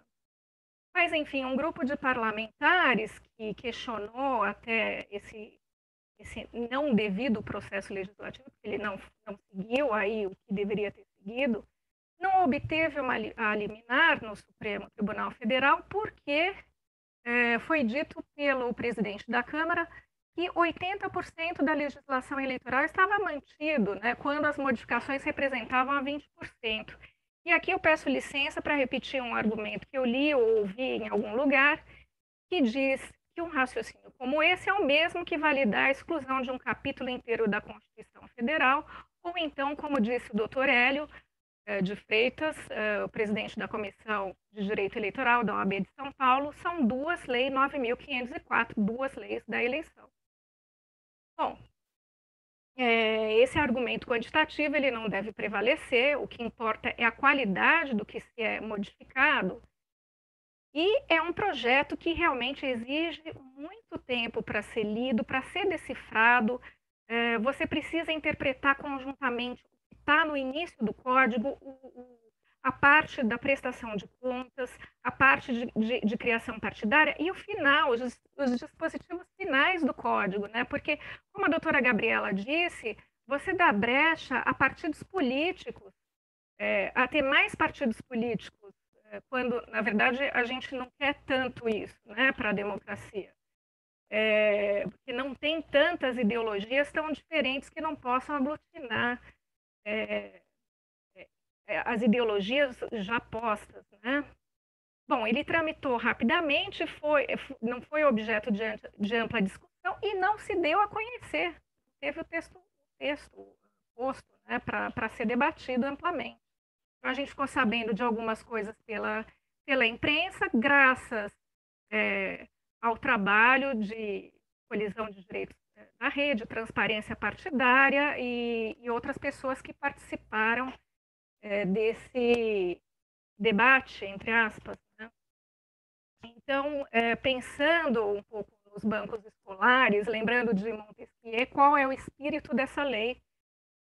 É, quando a gente analisa essa lei, é, quais são os verdadeiros e mais altos propósitos dessa legislativa? Né? Então, em primeiro lugar, eu identifico é diminuir as atribuições da Justiça Eleitoral e do Ministério Público, que são os órgãos de fiscalização e controle das eleições. Patente na prestação de contas, que perdem o caráter jurisdicional e passam a ser administrativas. Tá? É, exame de contas que fica praticamente circunscrito a doações de fontes vedadas, recurso de origem não identificadas e as outras é, despesas aqui que a, a, gente pode fiscalizar se circunscreve aqui ao correto repasse das cotas destinadas à fundação partidária, que recebe 20% é, do que o partido ganha do, do fundo partidário, o correto repasse das cotas ao programa de incentivo à participação das mulheres, é, regularidade de inscrição de pessoas jurídicas para saber se esse prestador de serviço ele está inscrito no cadastro nacional e desenvolve aquela atividade.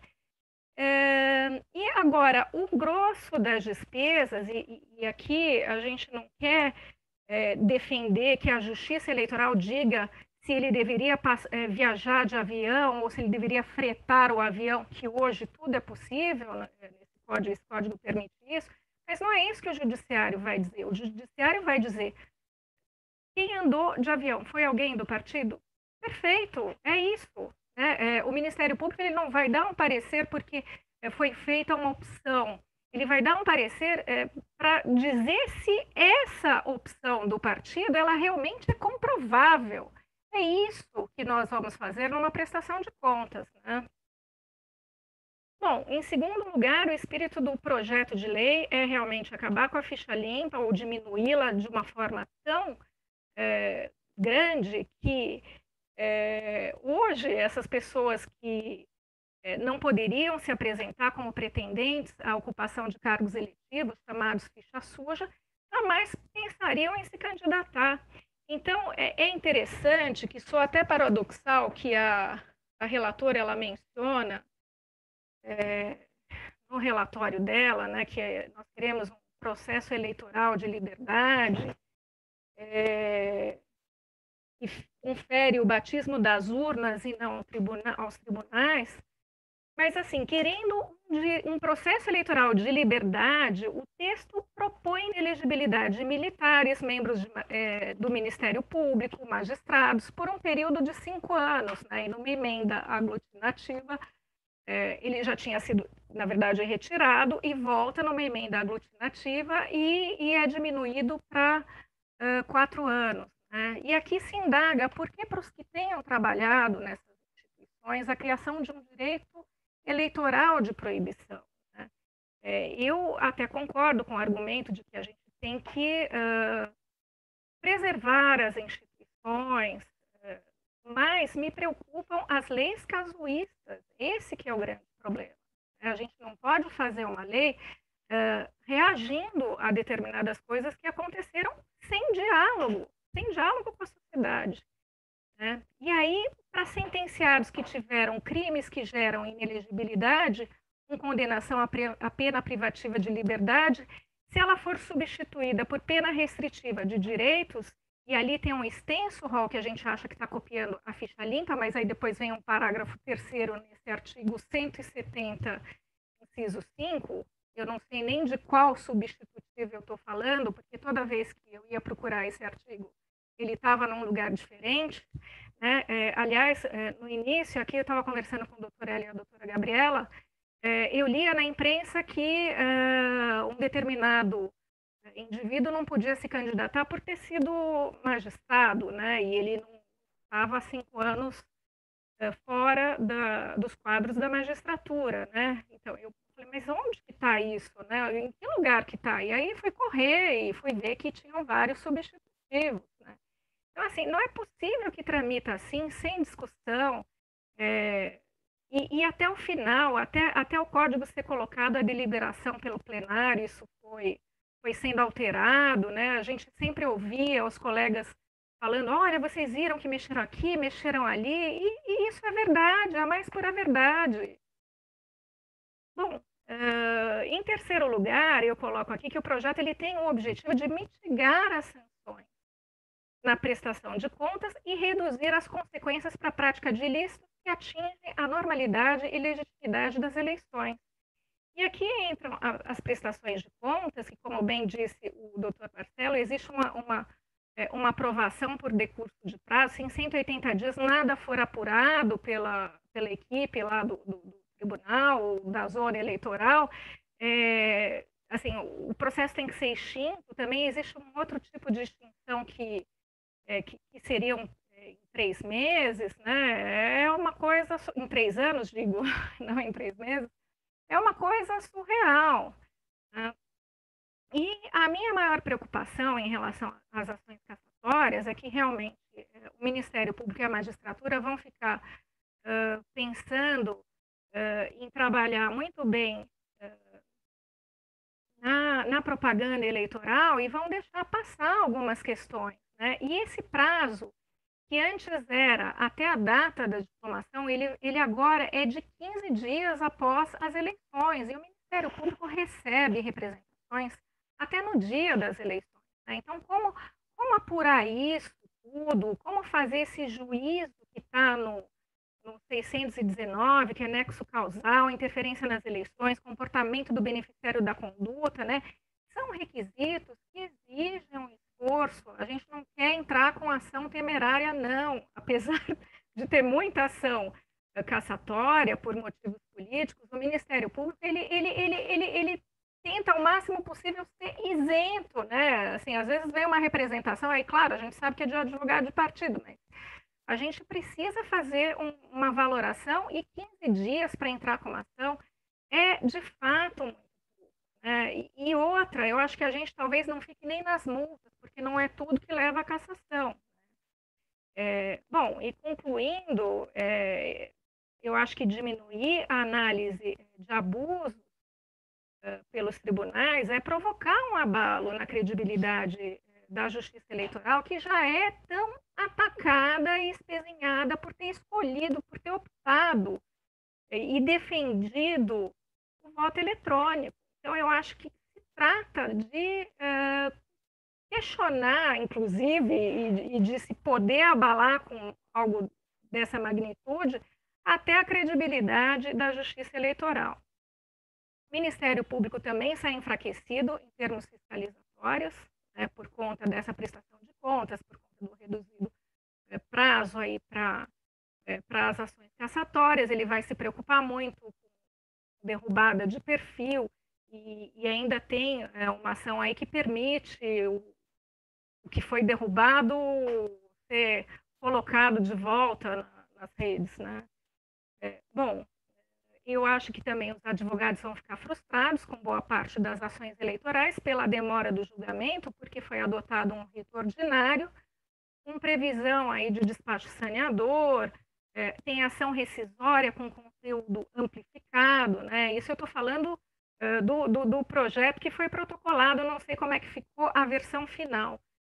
É, e é, com previsão de intervenção de terceiros. Né? Então, é preciso é, diminuir um pouco o ritmo e, como diz o doutor Marcelo, dar um freio na reforma. Né? Vamos esperar agora que o Senado uh, consiga aí reverter uh, essa falta de diálogo. Né?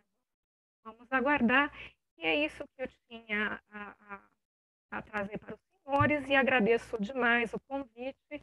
E digo, não sou palestrante, não dou palestras, não tenho hábito de dar palestras, sou uma pessoa extremamente reservada, mas uh, doutor Eli insistiu demais, então foi por isso que, que, que eu compareci a esse evento e agradeço demais os ensinamentos aí de todos, a visão de todos os senhores, que é sempre muito importante é, para nós do Ministério Público. Agradeço de coração, muito obrigada. Parabéns, doutora Ana Laura. Gostaria de começar me desculpando pela gafe inicial é, e dizer que, que é uma ótima palestrante, apesar de se dizer é, não palestrante. É, tocou, acho que começa um, um, ponto em comum, especialmente com a apresentação uh, Marcelo, acho que alguns pontos em comum, né, mas a crítica, é, que também passa pela apresentação da Gabriela, a crítica à celeridade na tramitação dessa reforma, aos ritos internos estabelecidos, é, a questão da prestação de contas é, e alguns outros temas que acho que são temas bastante polêmicos e que costumam opor, talvez, a advocacia e o Ministério Público, como, por exemplo, a questão da ficha limpa, que, que, que, é, que acho que uma parte razoável da advocacia, claro que não todos, é, entende que a lei original teria é, extrapolado em alguns pontos, isso seria um conserto, mas eu acho que até por isso é importante ouvir as diferentes opiniões, né? A, a, inclusive essa apresentada contradição na linha adotada é, pelo código de por um lado ter essa preocupação é, de uma maior liberdade e por outro lado é, criar essa quarentena. Eu não sei, não há uma, não há propriamente talvez uma contradição direta, mas ficou muito claro essa crítica de que seriam dois movimentos em direção contrária, né? E um destinado especificamente magistrados, Ministério Público e por aí vai. Então, muito importante ouvir essas críticas e esses posicionamentos é, e vamos, vamos dar continuidade aqui aos nossos debates. Eu passo a palavra aqui à minha querida amiga Samara Castro, vice-presidente da Comissão de Proteção de Dados e Privacidade da OAB do Rio de Janeiro. É, Samara, está com a palavra. Obrigada, Chico.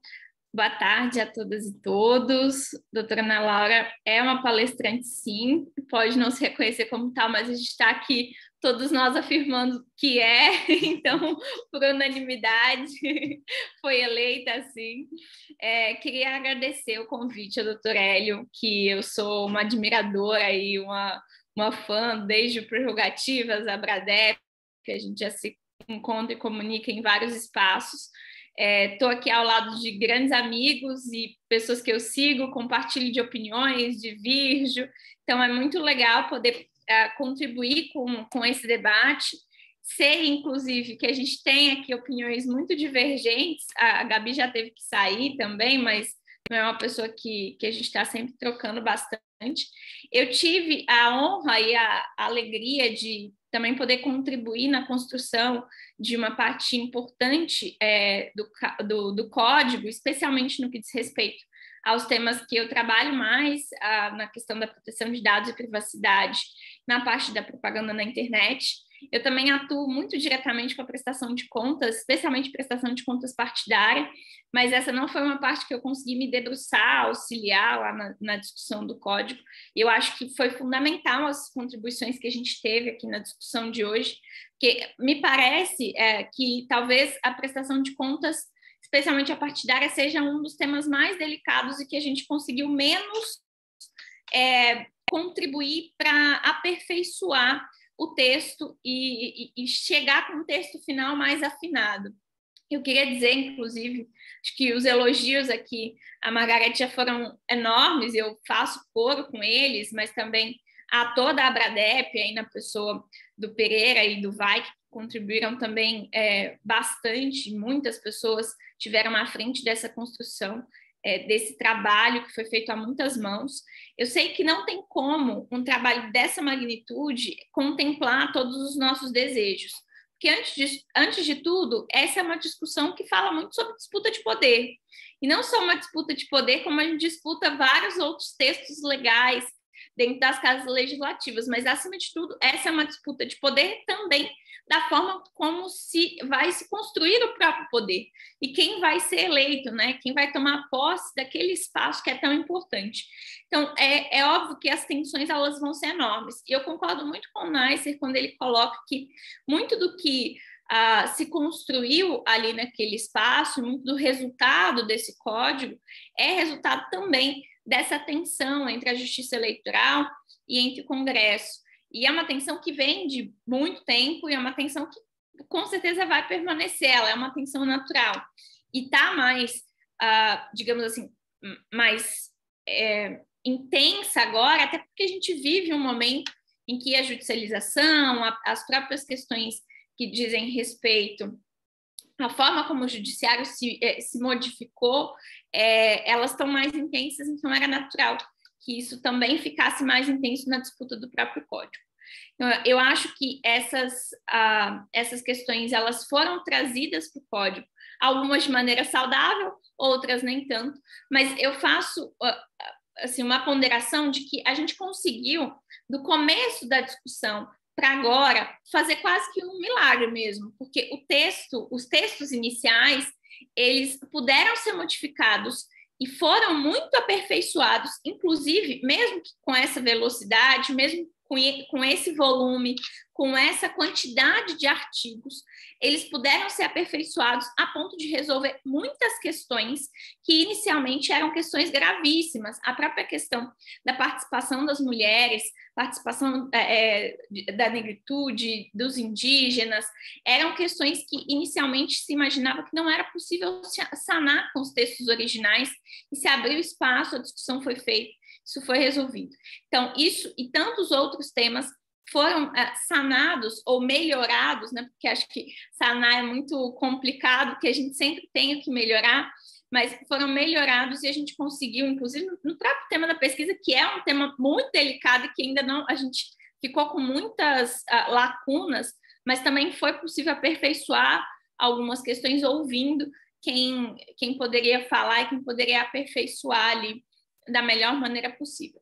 E no tema que me diz respeito, que é a parte da proteção de dados, eu acho que a gente avançou bastante, principalmente porque ele efetivamente entrou na legislação eleitoral. Porque a gente tinha, de algum modo, uh, alguns acenos, né? Até porque a proteção de dados ele é um tema relativamente recente, desses temas todos que a gente tratou aqui na, na discussão de hoje, talvez ele seja o caçulinha, é relativamente recente perante as discussões que a gente tem. Mesmo dentro da, da questão da tecnologia, de uma maneira geral, a proteção de dados ela entra meio que por último, né? não só porque a LGPD foi aprovada é, mais recentemente, mas porque a gente começa a olhar para a proteção de dados como uma saída, inclusive, para um dos grandes é, temas preocupantes das questões eleitorais, que é a desinformação. Agora, então, eu acho que o fato dele ter entrado, de fato, na legislação com peso, como entrou agora, faz muita diferença. E quando a gente pega o texto, o capítulozinho, né, o textinho que entrou de proteção de dados, a gente vê que teve uma ótica muito interessante de solucionar um pouco do que a própria LGPD não conseguiu dar conta, que foi a, o esquecimento ou, a ausência mesmo de falar um pouco mais sobre as necessidades de adequação entre a proteção de dados e as especificidades da justiça eleitoral e da política em si, e inclusive da política e da forma como a justiça eleitoral e as eleições brasileiras são encaradas, que é uma justiça que tem muitas competências, que tem várias formas de organização distintas, que tem dentro de si competências, inclusive, diferentes. E no texto que a gente tem hoje dentro do código, a gente tem uma competência específica da justiça eleitoral para tratar da proteção de dados, o que era uma preocupação grande, já que naquele momento em que a gente discutiu inicialmente a, a questão é, da proteção de dados, a NPD ainda não tinha, a, não tinha ainda, a PEC ainda não estava né, na sua tramitação efetivamente, para se ter uma autonomia mesmo da, da NPD, então a gente tinha uma preocupação de garantir que o TSE fosse e a Justiça Eleitoral fossem os responsáveis por lidar com tudo que diz respeito à proteção de dados e justiça eleitoral, e política, e eleições. Isso ficou como competência da justiça eleitoral, excetuando exclusivamente as questões que dizem respeito a danos morais ou questões assim.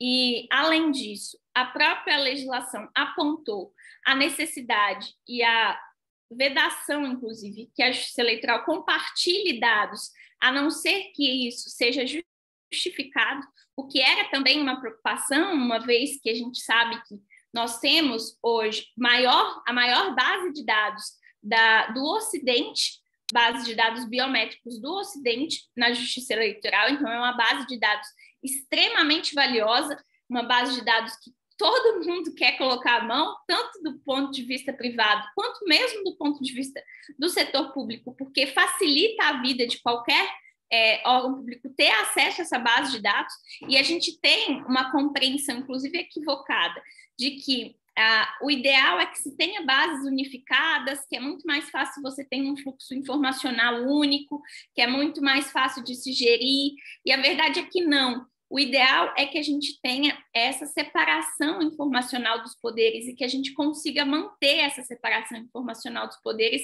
E eu acho que a forma como o código coloca isso contribui para que essa separação se mantenha.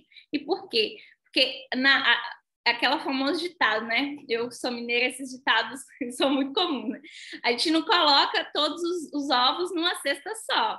A gente não coloca todos os dados numa cesta só, porque se essa cesta cai, todos os ovos quebram. Então, se a gente tem uma base de dados única, ou se a gente compartilha todos esses dados, se essas bases estão todas compartilhadas, é, e se isso vaza, se isso tem qualquer problema, a gente não tem essa segurança, a gente tem realmente um problema muito mais grave do que se cada um fica dentro da sua competência. Então, eu acho que a gente tem ali um texto muito interessante, e aí avanço, inclusive. Chico, eu tenho quanto tempo? Eu estou aqui falando, não olhei meu tempo no começo.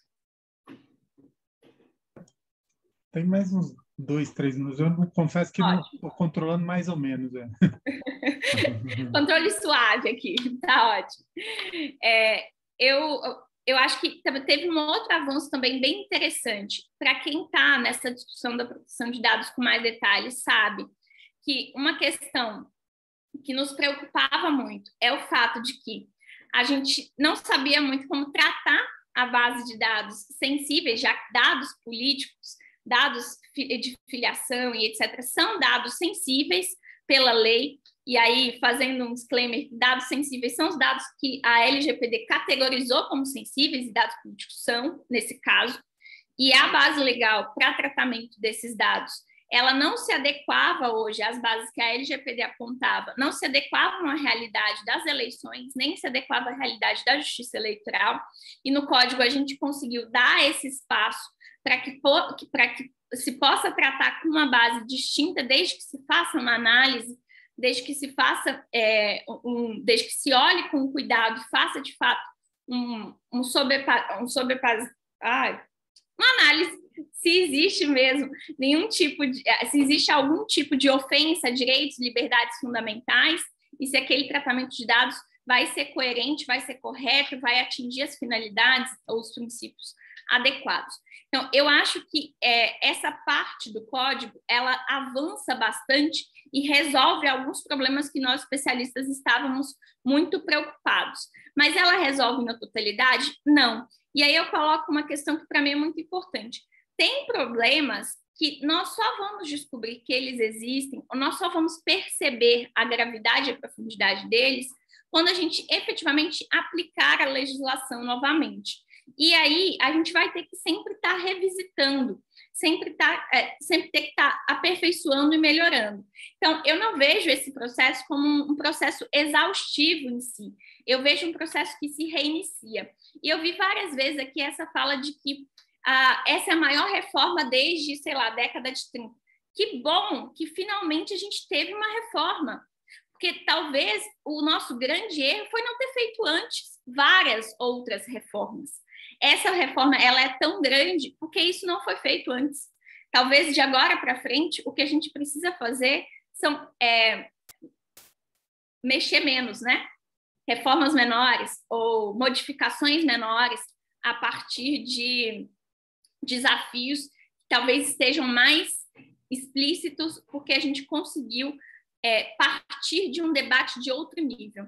E aí, juro que para finalizar, eu já falei muito, para mim é muito importante que a gente tenha a volta do debate da propaganda, do, da volta da propaganda partidária. É, eu acho que todos os instrumentos e ferramentas que contribuem para o eleitor, para nós, que somos cidadãos, estarmos mais informados da política, eles são fundamentais. É, eu acho que nos apropriarmos mais da discussão política faz com que a gente tenha mais transparência. Eu acho que a transparência ela também vem daí dessa capacidade de ter mais informações. Então, ser restritivo em todos os aspectos, seja o da propaganda, seja o das contas, seja em tantos outros aspectos, eu acho que é muito preocupante. E aí, para finalizar, eu acho que tem uma discussão que está muito acalorada e que a gente tem que estar tá sempre muito de olho nela. E que o Código Eleitoral ele, ele foi palco dessa discussão de uma maneira muito torta que é a discussão uh, da desinformação e, nesse caso, pelo viés da moderação. O, a inclusão do texto, muito parecido com o texto da medida provisória, no código, e a, que foi, inclusive, agora retirado, né? esse texto que vedava que as plataformas fizessem qualquer tipo de moderação e etc., é muito perigoso que a gente comece a fazer essas inclusões de textos, buscando é, resolver a desinformação com balas de prata que venham com uma promessa de exclusivamente é, ter uma solução única e uma solução pronta que só que seja só uma vedação de tecnologia ou uma vedação de discurso. Eu acho que a gente tem um problema complexo que só pode ser resolvido com soluções complexas. E soluções complexas demandam um arcabouço legislativo, um arcabouço institucional, um arcabouço, inclusive, cultural, social, complexo também. E isso demanda muito esforço. E o esforço não pode ser é, essas tentativas de usar os projetos como esse do código, como o PL da, das fake news, né, como o PL 2630, ou mesmo com a própria alteração do marco civil da internet, para serem é, serem bodes expiatórios, palcos mesmo de é, jabutis, ou sei lá qualquer expressão que se usa para essas alterações estranhas que só prejudicam o debate, que só prejudicam essa possível, esse possível caminhar para um combate efetivo a isso que é tão nocivo hoje para a nossa democracia. E eu queria dar essas contribuições e chamar todos para a gente poder agora efetivamente dar uma lidinha no código, já que ele saiu ontem e a gente ainda não tem todas as informações de como o negócio ficou e provavelmente não vai ter porque o Senado vai começar a mexer nele daqui a pouco de novo. Muitíssimo obrigado, Samara. É, acho que a sua fala mostra que, de fato, em alguns pontos a gente conseguiu avançar bastante. Acho que a despeito das inúmeras críticas e muitas delas pertinentes e procedentes, é inegável que houve um trabalho é, muito grande, um esforço muito grande da relatora, é, deputada Margarete Coelho, em avançar nesse tema. E eu gosto muito da ideia que você colocou de que isso é um, é um processo em andamento. Quer dizer, é, a gente tem hoje um texto base aprovado pela Câmara é, e é possível é, aperfeiçoar esse texto, mas nós temos pelo menos um ponto de partida em que muita gente já foi ouvida, a despeito das críticas, e, especificamente com relação a alguns pontos, parece que faltou mesmo um debate mais aprofundado, mas nós avançamos em muita coisa. Então, essa ideia de de que temos, temos na pior das hipóteses, um, um ponto de partida é, para essas discussões é, é, uma ideia que me agrada, é interessante.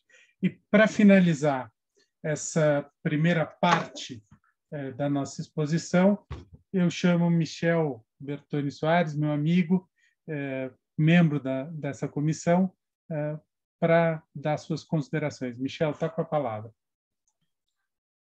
Boa tarde, doutor Francisco uma satisfação participar desse evento tão bem conduzido por você. É, a gente tem a felicidade de, de, de conviver, debater algumas questões relacionadas ao direito eleitoral, de ter atuado junto. Sempre um prazer. Cumprimento a todos e a todas. Agradeço ao presidente Hélio pelo convite.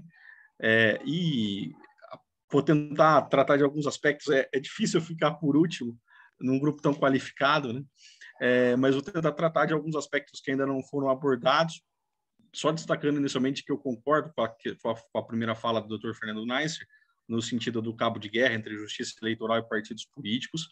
A gente sabe das dificuldades é, no dia a dia e de muitas vezes é, questões valorativas, é, presunções que geram recolhimentos para os partidos, por exemplo, e uma série de outras questões.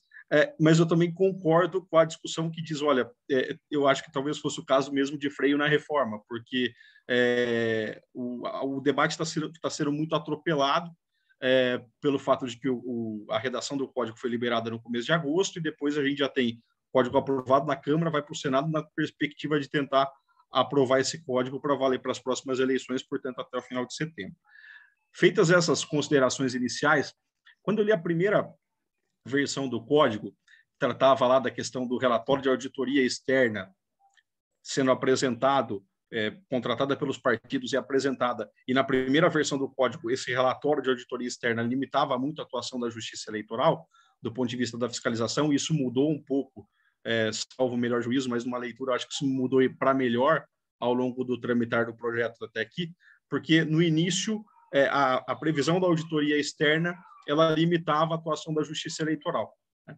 E aí eu lembrei da questão da reforma do aparelho do Estado do início da década de 90, na perspectiva de é, daquela relação público-privada, de transformar uma série de questões é, que antes o Estado prestava para retirar do modelo burocrático e passar para o modelo para o modelo gerencial, naquela conversa toda, naquela perspectiva é, que eu discordo, de trazer maior eficiência, menos controle prévio, mas um controle posterior da atuação da administração pública, mas o paralelo que me veio naquele momento, quando eu li a primeira versão do código, é justamente essa. A gente estava fazendo como se fosse uma reforma da justiça eleitoral, da competência da justiça eleitoral, fazendo com que o privado, a auditoria externa, eventualmente limitasse a atuação da justiça eleitoral, o ente público. Né? E quando eu lembro da reforma do aparelho do Estado, nem a reforma do aparelho do Estado ousou mexer na questão da, da competência do Poder Judiciário, da organização do Poder Judiciário, porque a reforma do aparelho do Estado, ela previa que, as, que o núcleo do Estado, incluindo o Judiciário, continuava a ser é, é, estatal, e previa, é, não colocava o judiciário, o executivo, o legislativo naquele rol é, dos poderes que passariam a se reger pelos princípios gerenciais. Felizmente, a coisa mudou um pouco e o relatório de auditoria, na última versão, não limita, é, no meu ponto de vista, a atuação da Justiça Eleitoral. Mas eu tenho grande preocupação quando penso na questão das contas partidárias, é, com, a, com o prazo de 180 dias para análise das contas, para que o órgão técnico possa emitir um parecer para análise das contas, identificar eventuais irregularidades, e o prazo de três anos para o julgamento das contas. Por quê? É, da maneira como a coisa é organizada hoje, o aparato que a Justiça Eleitoral tem, com a tecnologia que a Justiça Eleitoral tem, com tudo que a Justiça Eleitoral tem seu, em, seu, em seu poder, tudo que a Justiça Eleitoral conseguiu evoluir nos últimos anos, um trabalho brilhante, não só na urna, a gente sempre lembra das urnas, porque a urna é um marco da nossa justiça eleitoral, algo fantástico, a urna eletrônica, mas também em termos de contas. Quem entregou, entregou conta eleitoral em 2006 lembra que era em disquete, né? 2006, 2008, por exemplo. E hoje a Justiça Eleitoral tem uma série de algoritmos utilizados para recepcionar as contas e para auxiliar na análise dessas contas. Apesar de tudo isso, a Justiça Eleitoral não tem condições de, em 180 dias, emitir um parecer é, identificando as irregularidades de, de, contas partidárias de diretórios nacionais. É, é, inviável com a estrutura que se tem atualmente e também não teria essa condição para prestações de contas é, de diretórios estaduais, salvo se fossem diretórios que movimentassem muito pouco recurso. Né? Então, eu acho que esse é um ponto de preocupação, porque inviabiliza a, a atuação da Justiça Eleitoral, pode até ter um vício de constitucionalidade, na medida em que a Justiça Eleitoral tem o dever tem a, a, a, competência constitucional de analisar as prestações de contas dos partidos políticos, e aí a gente pode ter um vício de constitucionalidade, como também acho que a gente pode ter um vício de constitucionalidade no prazo de três anos, porque da maneira como a coisa está posta hoje, a Justiça Eleitoral não tem condição de analisar a prestação de contas anual de diretório estadual e diretório nacional no prazo de três anos, grosso modo. Por mais que a Justiça Eleitoral faça um esforço hercúleo, atue de maneira brilhante na tentativa de otimizar todo esse processo, e por mais que a gente discorde eventualmente de decisões da Justiça Eleitoral também do ponto de vista de mérito, eu vou até abordar isso daqui a pouco em algumas situações, mas é, do ponto de vista é, é, é prático, da estrutura que se tem, de todo o desenvolvimento, não dá para tocar. Né? É, eu, por exemplo, essa semana respondi uma diligência num processo de prestação de contas é, anual de 2017, né? que foi, portanto, protocolizado em abril de 2018, eu respondi a diligência agora, o prazo de três anos acaba sendo um prazo muito curto. Eu não vejo problema em eventualmente se discutir pra, os prazos, só que desde que, até não é a matéria do código, mas desde que se pense em alternativas, porque diminuir o prazo de análise, limitar o prazo de análise, de, de, demanda que a Justiça Eleitoral possa ter é, uma estrutura maior, é, tanto técnica de pessoal, como, uma, como técnica, é, uma possibilidade maior de reorganizar o jogo para poder analisar as contas. Né? Então, se eu tenho um código que limita a fiscalização e eu não tenho nenhuma medida para pensar como é que a fiscalização pode ser melhorada para dar conta daquilo naquele tempo, eu não tenho recurso para isso, porque hoje não, o Justiça Eleitoral não teria recurso para se adaptar a esse prazo de 180 dias ou a esse prazo de três anos. Então, eu vejo isso com muita preocupação, acho que esse é um ponto negativo. Na questão da, do processo se tornar administrativo, eu nem vejo como tão negativo. E, e, vejo que pode ter até aí um tiro no pé, eu trago aqui para discussão porque eu estou tentando formar minha opinião nesse ponto. Por quê? É, em primeiro lugar, todos os gestores públicos, não estou dizendo que partidos são gestores públicos, mas é que a gente sempre quer dizer, olha, partido aplica recurso do fundo partidário, partido, partido aplica recurso do fundo especial de, de financiamento de campanha. Todos os entes públicos prestam contas em processos administrativos. Todos. Perante TCE, perante TC, TCU, os processos administrativos, problema nenhum nisso. É, é, imposto de renda. Nós declaramos imposto de renda em processo administrativo. E a Receita, se eventualmente achar algo fora do lugar ali, vai apontar e nos chamar para responder. Não vejo problema nisso. Né? Agora, qual que é o tiro do pé? Né? Qual que é o problema, na verdade? Tem um problema se eu falar que é administrativo e dizer que o documento pode ser apresentado até o julgamento final. Porque é aí que a coisa aperta. Né? Eu acho que a gente poderia ter, eventualmente, um meio termo a jurisprudência do TRE de São Paulo em 2018 dizia que é, os documentos teriam, poderiam ser excepcionalmente untados até o primeiro julgamento.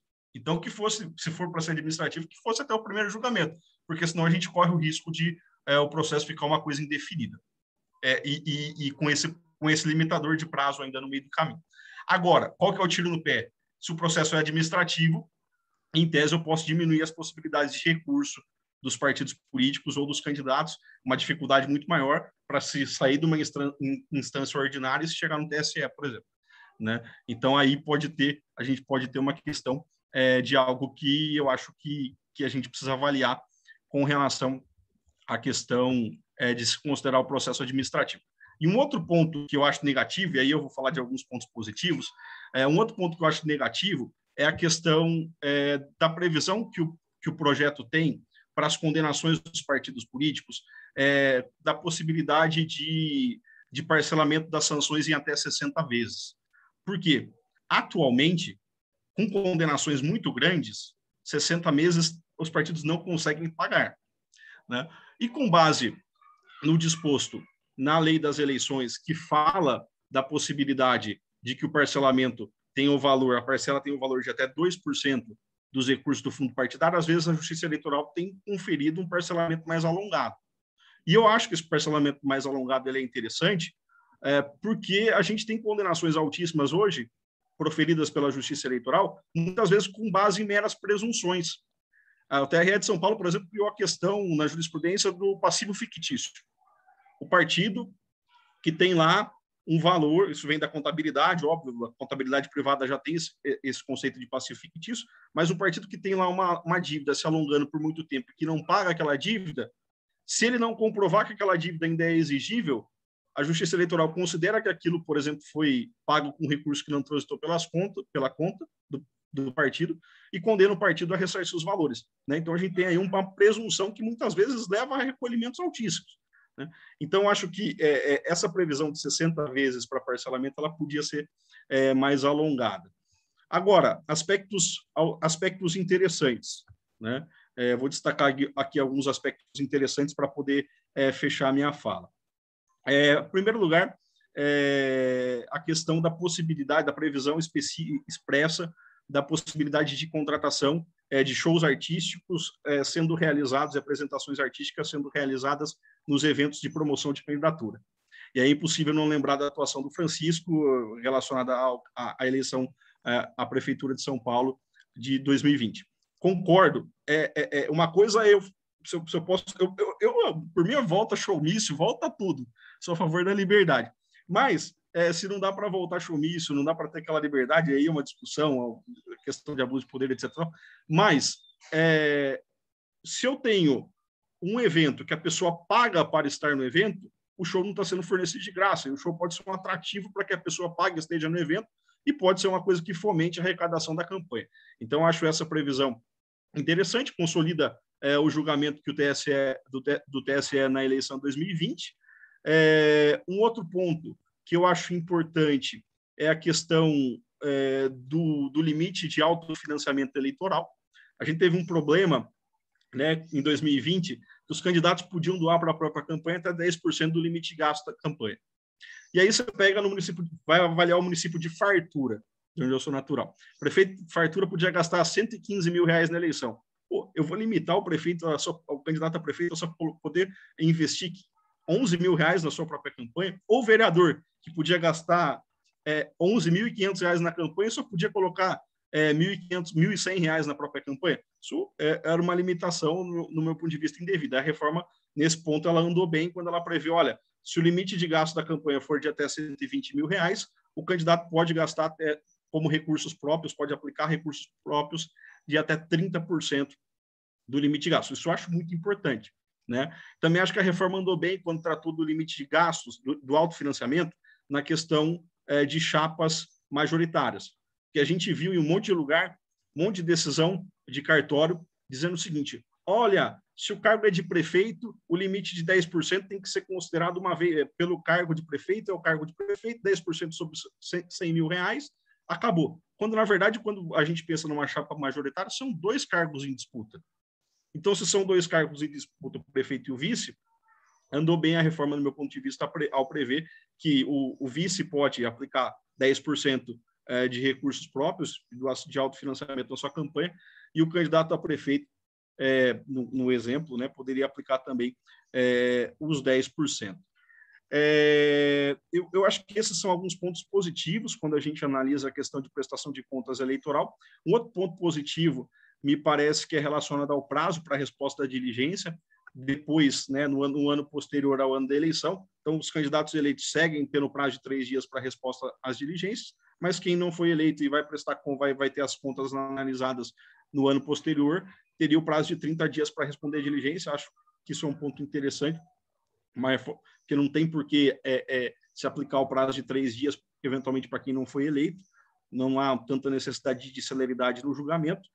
É, e agora, só uma, uma para fechar, é, nas contas eleitorais eu vejo dois pontos de atenção que eu achei que, que, que precisariam ser melhor debatidos e melhor avaliados. É, o primeiro ponto de, de atenção, é, na verdade, aqui tem um ponto bom e um ponto de atenção junto. Né? O ponto bom é, partido que não participou da eleição não precisa prestar contas eleitorais. Isso, é, é, é para mim, é muito claro. Em 2018, quando a, antes de 2018, quando a gente discutia a resolução 23500, a minuta da, da futura resolução 23553 de 2017 lá no TSE, o que, o que foi muito debatido era isso, porque a, foi a minuta que estabeleceu que partido que não participava da eleição tinha que prestar contas. É um negócio que se não, se não participou da eleição, não participou do pleito, não precisa prestar contas, do meu ponto de vista. E a reforma deixa isso claro, acho isso interessante. Não tem por que prestar contas e fiscalizar, porque vai prestar conta anual depois, e aí vai, vai avaliar todas as movimentações depois. Agora, os pontos de atenção, é, quando a, a, a, o projeto fala em quem não deve prestar contas, é, me parece que são os diretórios nacionais e estaduais que eventualmente só tenham repassado os recursos do fundo partidário e do FEFEC para os seus candidatos. Por que, que eu acho isso ruim? Porque remete lá para a análise das contas anuais dos partidos o tema, vai ter que estar escriturado lá, óbvio, vai ter que ser analisado lá do ponto de vista da escrituração, já é assim atualmente. Só que é, me parece que é importante que esses entes, participando do pleito, né, tendo candidatura no pleito, participando do pleito, que eles prestem contas é, para que essas informações possam ser confrontadas com as prestações de contas dos seus candidatos né, para trazer uma maior confiança nas informações das prestações é, de contas dos candidatos. Esse me parece que é um ponto de atenção. E o outro ponto de atenção, é, com relação à questão é, de prestação de contas eleitoral, no meu ponto de vista, é a questão do, da prestação de contas simplificada. Eu adoro a prestação de contas simplificada, sempre fui um defensor, desde enquanto, enquanto servidor da Justiça Eleitoral, agora advogado e tal. Eu sempre defendi a prestação de conta simplificada. Só que a minuta não fala na prestação de o projeto não fala na prestação de conta simplificada que a, que a prestação de conta simplificada vai analisar FEFEC e fundo e fundo partidário, né? É, e isso conflita, isso a, a, previsão conflita com outro dispositivo do próprio código, acho que o artigo 440, é, que fala sobre as possíveis sanções, incluindo é, o recolhimento de recursos do fundo partidário e do fundo especial de financiamento de campanha. Né? Não dá para limitar é, para dizer, olha, a prestação de contas simplificada não vai analisar fundo partidário, não vai analisar fundo especial de financiamento de campanha. Mas eu acho que isso dá para resolver com uma interpretação sistemática do artigo 440. Bom, gente, desculpa, tentei fazer uma fala abordando alguns pontos, acho que falei demais. É, fico aqui à disposição para os debates. Obrigado.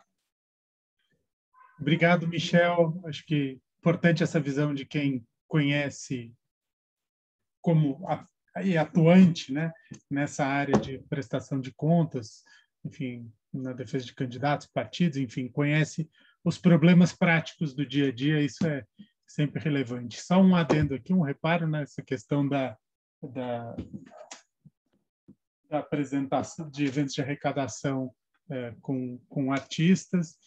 Você fala que eu atuei, mas eu e o Fernando Neisser também, enfim, foi uma atuação conjunta aí nessa, nessa matéria que nos dá orgulho.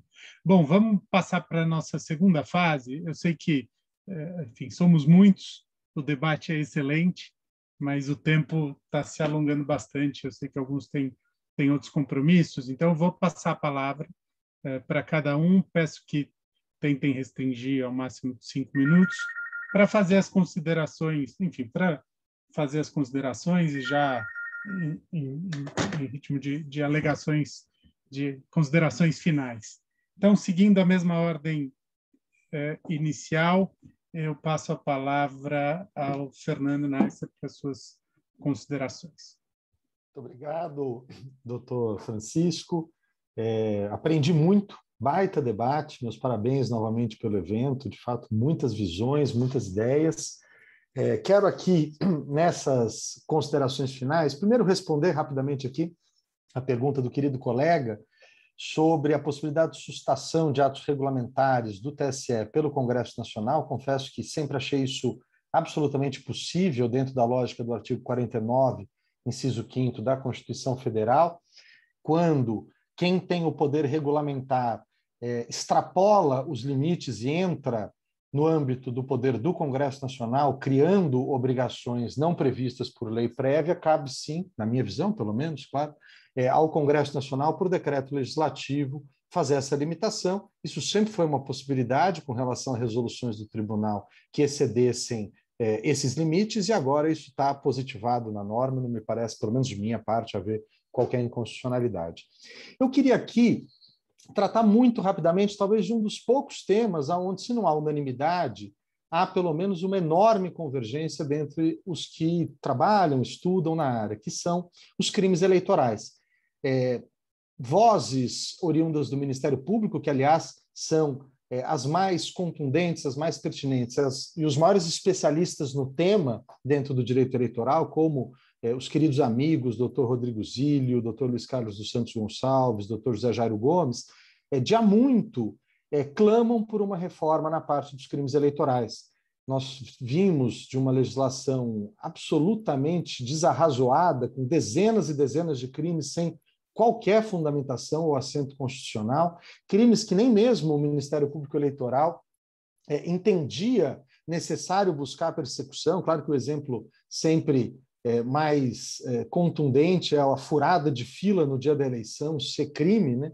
Então, o projeto feito é, com muita colaboração desses membros do Ministério Público, ele tira do ordenamento jurídico, ele descriminaliza uma série de condutas que se entendeu que ou não haviam sido recepcionadas pela Constituição ou é, tutelavam questões que não ostentam a mínima dignidade penal, que o direito eleitoral sancionador não penal dá conta do recado, como o caso da boca de urna, que aliás é uma defesa contundente do próprio doutor Luiz Carlos Santos Gonçalves em prol dessa descriminalização, é, o transporte de eleitores indo para a lógica do abuso de poder econômico ou do abuso de poder político, e de outro lado atualiza os crimes eleitorais em algumas questões em que havia uma desproporção para baixo, penas irrisórias, como no caso da compra de votos, que a pena de um a quatro anos era a mesma do furto simples, por uma conduta considerada é, por todos e por mim muito mais nociva do ponto de vista social. Separa a corrupção ativa eleitoral da corrupção passiva, dando um tratamento diferente, criminaliza o caixa 2 de uma forma que permite chegar aos doadores, o que era um problema de autoria na redação com todas as venas ao entendimento contrário, a coxambrada que se tinha do artigo 350, a falsidade ideológica eleitoral, é, que passou a ser aplicada a situações de caixa 2 por uma pressão da sociedade no pós-mensalão, né, um crime desenhado antes de existir prestação de contas, por óbvio que não, não tinha uma tipicidade apropriada para lidar com o fenômeno da contabilidade paralela, traz a violência de gênero, a violência contra a mulher, expressamente para esse âmbito, dando uma proteção relevante. E no ponto da desinformação, de um lado, é, mantém um enfoque com o qual eu pessoalmente discordo de um controle de conteúdo da propaganda eleitoral. É impossível, a gente tem que entender os vieses dos deputados, impossível convencer é, os parlamentares de que não faz sentido tentar usar o direito penal para controlar conteúdo de manifestação, mas inova no que me parece é, bastante inteligente, ao, no artigo 870, criminalizar as estruturas e os comportamentos independentemente do conteúdo, principalmente por trazer a possibilidade de apenamento daquelas, daqueles empresários, daquelas pessoas que lucram com esse comércio, com esse mercado. As empresas que oferecem disparos, as empresas que oferecem bancos de dados, tudo à margem da legislação eleitoral. É, seguindo a linha do que é colocado pelo professor Philip Howard, o diretor do Oxford Internet Lab, é, numa obra bastante interessante chamada Lie Machines, né, as máquinas da mentira, você não consegue fazer um controle funcional da desinformação na sociedade se você não atacar simultaneamente todos os pilares de sustentação desse fenômeno. E essas empresas que fornecem esses serviços nos mercados, elas estavam imunes. É como se, eu tenho dito quando falo sobre o assunto, se a gente tentasse enfrentar o fenômeno do tráfico de cocaína, proibindo a produção e proibindo a compra, mas dizendo que quem transporta cocaína de um lugar para o outro age de forma atípica e, portanto, pode oferecer esse serviço de transporte de cocaína no mercado. É claro que você vai ter uma disfuncionalidade, porque você cria um regime de incentivos para candidatos contratarem esse tipo de serviço ilegal, e você cria um cenário em que esses empresários estão é, fazendo aquilo que chama de cream skinning, né? estão pegando só o lado bom da coisa, que é a possível receita desses serviços, sem correr qualquer risco por atuar na ilegalidade. Me parece que há aqui avanços, e eu quero é, finalizar talvez com uma provocação, doutor Francisco Almeida Prado, se me permite, é, a leitura é, geral da falta de diálogo com relação à, à formatação do texto base do projeto de lei 112 de 2021. É, eu pergunto é, se o, a Câmara dos Deputados, se os parlamentares é, não puderam saber qual é a posição que tem, por exemplo, a Coalizão Direitos na Rede, o Ministério Público, a transparência eleitoral, se eles, as empresas de pesquisa, se os deputados não conseguiram entender que, por exemplo, algumas dessas entidades são contrárias a essas regras de contabilidade partidária, ou que é contrária à proibição da divulgação de pesquisas ou contrária à limitação de prazos para o ajuizamento de ações, me parece que a resposta é negativa. Os deputados sabem exatamente qual é a posição.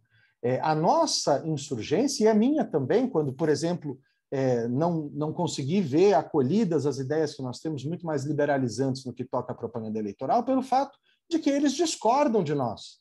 Discordaram. Essa discordância, vejam, ela pode ser constitucional, e aí vai virar lei. Infelizmente, nós temos leis das quais discordamos, ou ela pode ser inconstitucional, passível de controle pelo Supremo Tribunal Federal, o qual eu tenho certeza absoluta que será acionado pelas entidades que têm capacidade postulatória a tanto e fará o controle, como sempre tem feito, até com bastante é, ativismo em algumas situações, para, por exemplo, preservar o princípio republicano, o princípio da necessidade de prestação de contas, a liberdade de expressão.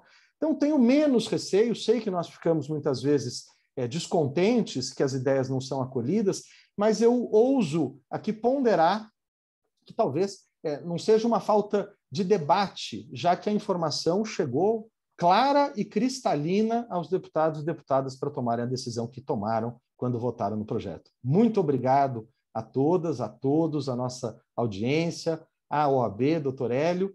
É, boa noite e sigamos aqui.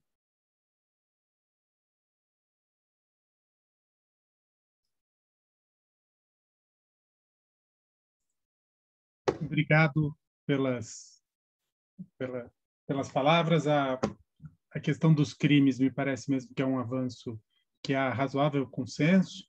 É, a questão da criminalização das empresas é, que prestam aqueles serviços também parece que é um avanço importante.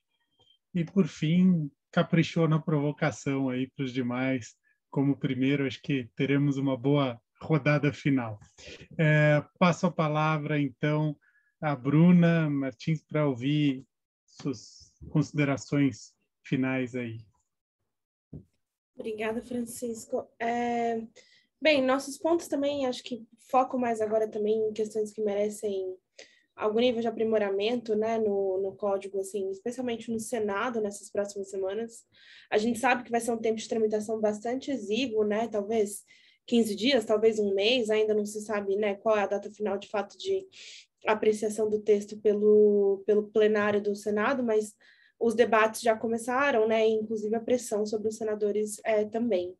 É, e nessa linha, assim, eu já peço desculpa também pra, por discordar com o doutor Fernando, porque é, na questão dos artigos 869 e 870, né, que falam sobre os crimes sobre desinformação, a gente ainda acha que eles podem ser ou aprimorados ou suprimidos, porque, é, de uma maneira assim, de, numa olhada inicial, o texto nos parece ainda bastante genérico, ainda bastante.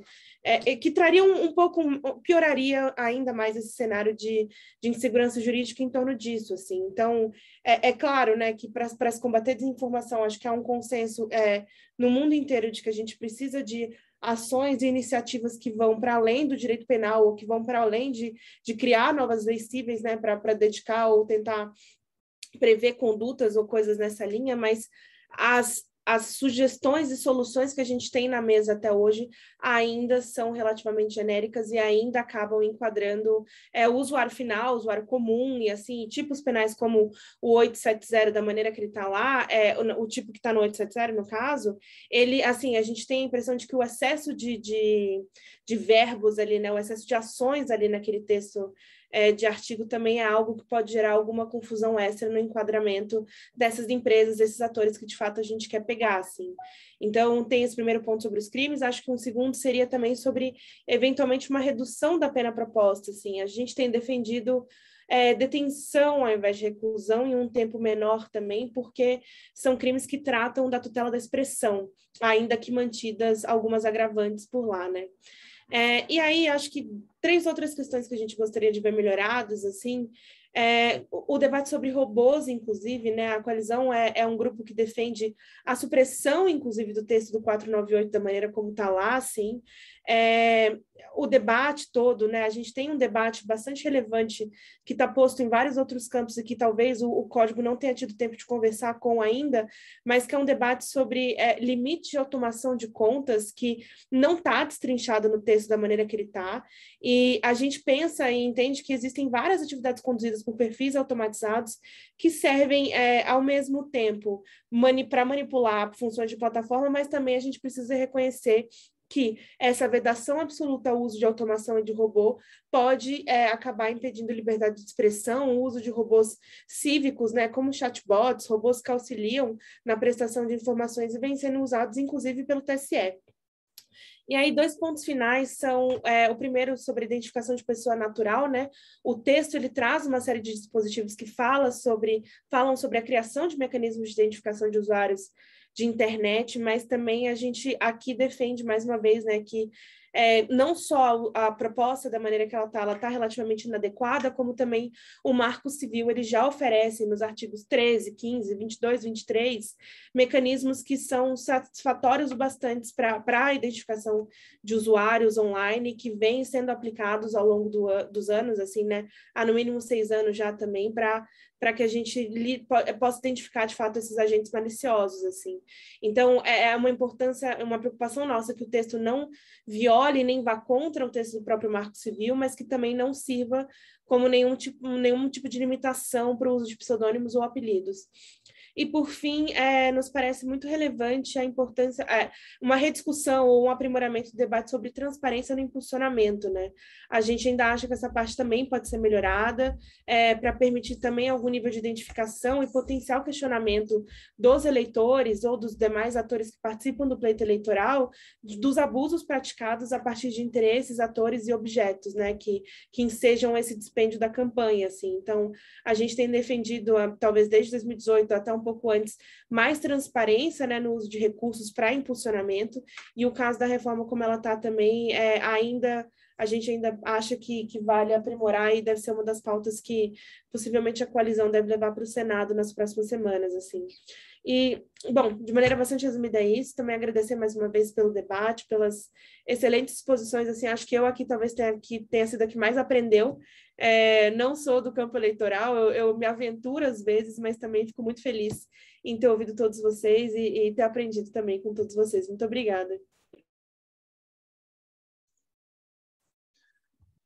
Bruna, a gente que agradece, acho que foi um aprendizado e mais uma vez é, é, é, uma área sensível e que qualquer regulamentação sempre corre o risco de esbarrar é, para um lado ou para o outro, de ser exagerada ou, ou ficar muito aquém. Esse equilíbrio é fundamental. E a gente só complemento que isso fica ainda mais difícil quando a gente lembra é, que isso ainda depende da interpretação do intérprete, né? Se a gente pudesse com confiar numa interpretação razoável e sistemática é, dessas proibições, é, talvez grande parte dos problemas pudessem ser resolvidos, mas é, o texto é difícil encontrar um texto que não permita, em tese, interpretações radicais ou que acabam ferindo direitos e garantias individuais. Enfim, o desafio é gigantesco.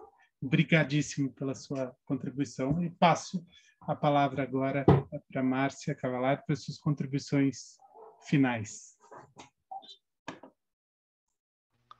Bom, então eu concordo né, com o que o doutor Fernandes disse, que os deputados sabem exatamente o que, o que eles querem e sabem exatamente o que eles estão fazendo. Então, quando eu vejo a questão da proibição de divulgação na véspera, é, eu tenho consciência plena de que eles acreditam que a pesquisa tem uma má influência, uma influência maléfica sobre o eleitor, como se o eleitor votasse de acordo com a pesquisa.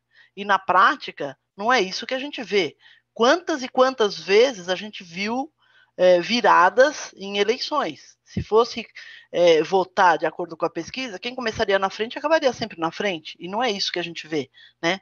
Além disso, também tem essa questão que, que já foi, foi colocada aqui em várias ocasiões, a questão de liberar e proibir. Né?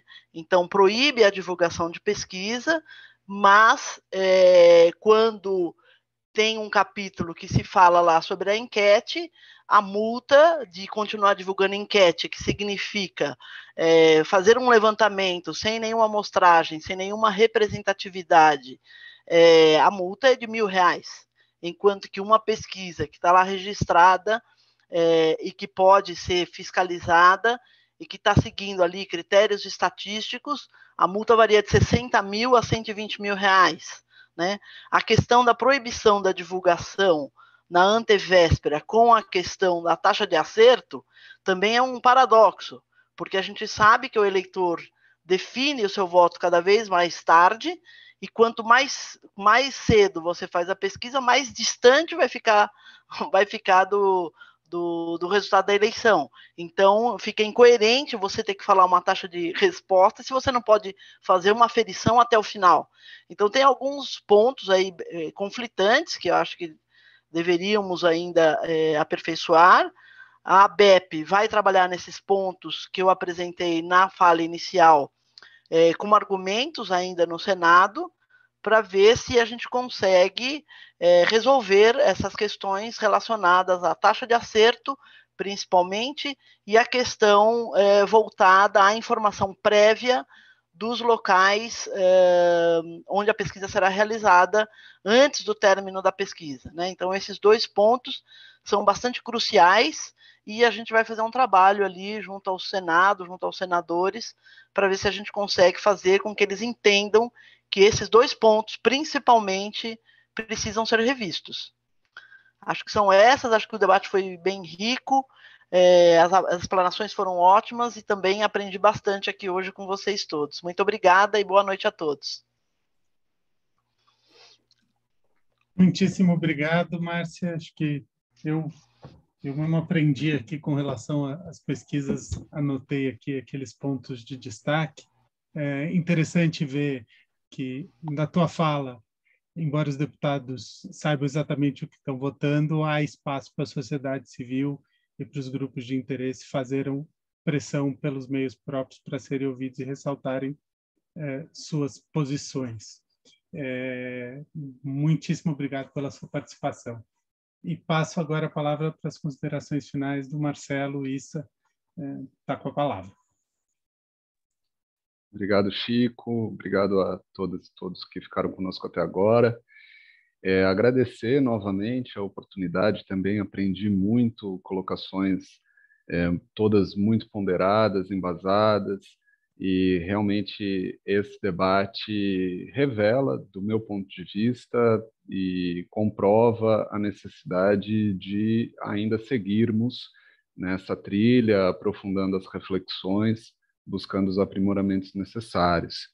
Eu queria, por fim, trazer só uma reflexão é, sobre é, a validade de se aprovar uma legislação dessa magnitude, dessa complexidade, é, para valer nos, no ano que vem, ou seja, nas próximas duas semanas, é, com todos os riscos e pontos de inconstitucionalidade já reconhecidos por pelo Michel, pelo próprio Neisser, por enfim outras é, inclusive autoridades, né? Vale lembrar que na semana passada o Procurador-Geral Eleitoral enviou um ofício ao presidente da Câmara dos Deputados apontando é, uma possível inconstitucionalidade no que se refere à disciplina das funções do Ministério Público, ainda que questionável a avaliação ali do Procurador-Geral Eleitoral.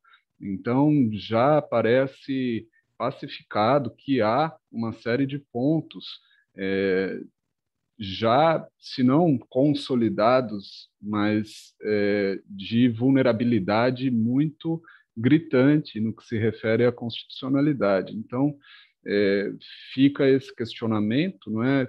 é? Em primeiro lugar, se vale a pena é, uma aposta tão grande assim numa legislação tão relevante, é, e aí como decorrência, acho que não dá para deixar de questionar também a quem interessaria, a quem interessa né, aprovar uma legislação com tantas vulnerabilidades assim e por que é, fazê-lo com tanta, com tanta pressa. Né? Em segundo lugar, eu é, queria voltar à questão do devido processo legislativo constitucional também, né? porque os prejuízos né, nessa tramitação, as garantias constitucionais e a todas as implicações do ponto de vista né, do funcionamento da democracia me parecem bem evidentes, né, na medida em que é, parlamentares não puderam apresentar emendas, é, não houve a possibilidade de cumprir a Constituição com relação à tramitação de uma proposição na comissão especial, o que é, permitiria, é, enfim, pedir vistas, é, apresentar substitutivos, votar uma proposição. Entendo né, que o plenário é soberano e que a proposta foi aprovada né, por uma ampla margem de votos, mas há também prejuízos muito concretos e já consolidados né, também a direitos é, tão relevantes das minorias que precisam sempre ser preservados numa democracia. E aí, né, eu acho que não dá para deixar de fazer uma consideração, respondendo aí com todo respeito à provocação do Nasser, sobre o tipo de democracia que nós queremos. Né? Se é, o mandato legislativo é um cheque em branco, me parece que não. Parece que é, a própria Constituição deixa muito claro que não é assim e que, enfim, se bastasse é, a ciência dos diversos pontos de vista né, pelos parlamentares para a tomada de decisão, bastaria enviar uma, um ofício, uma nota técnica, talvez uma carta com AR, estariam todos cientificados ali das posições de cada segmento e as votações seriam é, democráticas e legítimas. Acho que não é esse o tipo de democracia é, que a maior parte da sociedade quer, nem aquela que a Constituição estabelece. De resto, muito obrigado pelo convite, agradeço muitíssimo. Também, é, enfim, me sinto honrado e foi muito enriquecedor o debate. Marcelo, nós que agradecemos, é, foi ótimo. E aqui, enfim, já é o debate colocado aqui pelo Neisser, acho que está em andamento. E aqui você traz uma questão é, constitucional também a respeito disso, né? que, embora tenha sido, é, pelo menos num primeiro momento, afastada é, pelo Judiciário, pelo Supremo, é, é uma questão relevante, né? que não apenas é, é uma questão do, do, do processo legislativo em si. É, enfim, é, acho que tem muitas questões, é, acho que esse, esse nosso seminário aqui, nossa discussão, podia dar origem a vários outros é, sobre aspectos específicos do, do código. É, acho que a gente poderia ir longe nessas discussões. Mas para dar continuidade a essa discussão, é, e também responder ao Fernando, tenho certeza que ela irá fazê-lo, eu chamo a doutora Ana Laura para as considerações finais está com a palavra.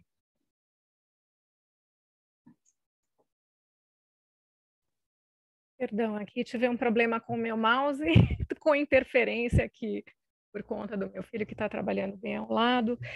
É, gostaria novamente de agradecer à Comissão de Direito Eleitoral pelo convite, dizer que aprendi muito com todos os expositores, vou rever é, mais vagar é, tudo que foi é, discutido aqui, porque são questões re realmente muito relevantes e que nos trazem muita reflexão, especialmente os pontos né, que o Ministério Público costuma divergir com a advocacia.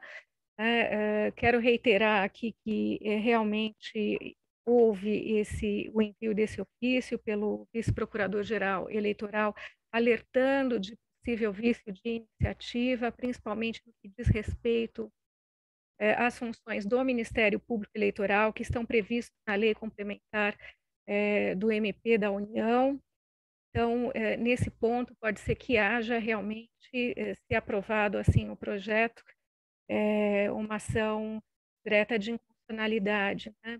E há outras questões que também se colocam, né? a retirada do poder consultivo, e eu vejo isso também como uma reação a, aos abusos teria praticado a justiça eleitoral, mas é, eu acho que acima da vontade dos deputados existe a Constituição, a vontade da Constituição Federal, e o fiel da balança é o STF, que, que é um poder que, que eu é, acredito que vai aplicar a Constituição uh, devidamente a todas essas questões. Uh, em relação à limitação ao poder regulamentar da justiça eleitoral, eu ouso aqui divergir é, do, grande advogado, Dr. Fernando Neisser. É, eu acho que esse poder ele, ele precisa vir da Constituição é, e não de uma lei complementar. Né? Eu acho que isso é, é, é uma questão a ser discutida com constitucionalistas né? Uh, em relação aos crimes tipificados é, e os que foram excluídos. Não vejo grandes problemas. Né? É, acho que a gente tem realmente essa liberdade uh, de expressão aí uh, aumentada, mas uh, o que a gente tem que tomar cuidado também é o desvio do que, o, do que é liberdade de expressão também.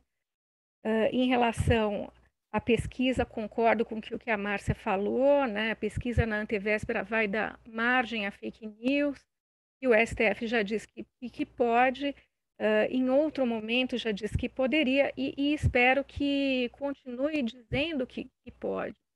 Né? E precisa haver um esclarecimento maior à população que a, a, pesquisa ela é um retrato do dia em que ela foi feita. Né? E também me traz de novo a preocupação que ela é, expressou em relação à violência e a, a, a, a possíveis eh, retaliações eh, de grupos de marginais em locais onde determinado candidato ou que a pesquisa foi realmente saiu ali um resultado que não agrade a, a, ao crime organizado, por exemplo, né?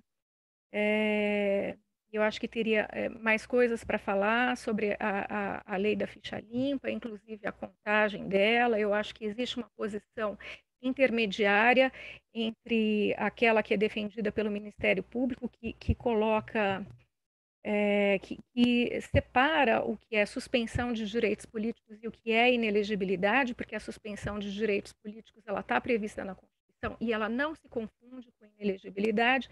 Existe essa posição intermediária que está sendo discutida até numa ADI, é, que é relatada até pelo ministro Cássio no Supremo Tribunal Federal e já há um, um, voto vista do ministro Barroso que traz é, uma posição mais conciliadora, que é a detração do que já foi cumprido de inelegibilidade entre o momento da, da, condenação em segundo grau e o trânsito em julgado, que eu acho que é um caminho do meio, né? e esse caminho do meio ele não foi discutido sequer.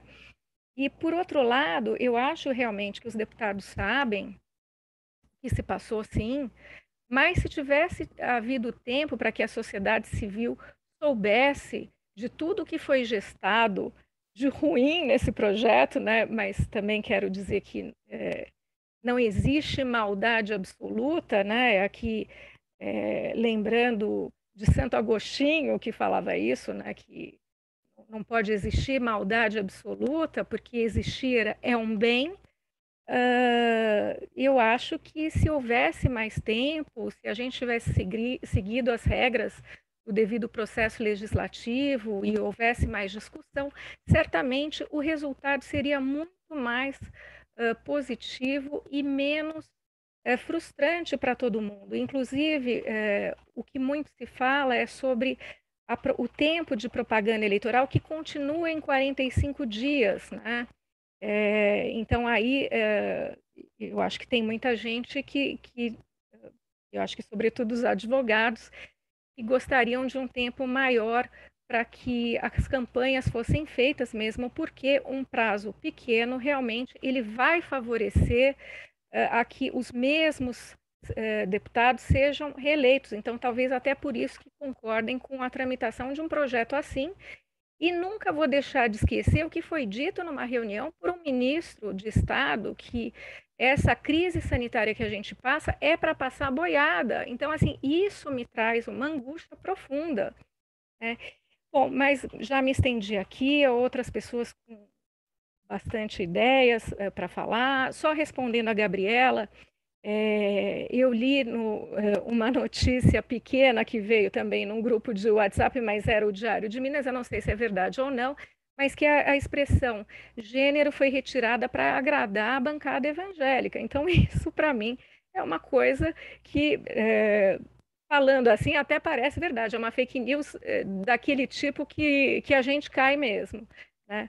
Então, eram essas as considerações. Agradeço demais a oportunidade é, do debate, o debate de altíssimo nível e boa tarde a todos que tiveram paciência de estar conosco até esse horário. Muito obrigada.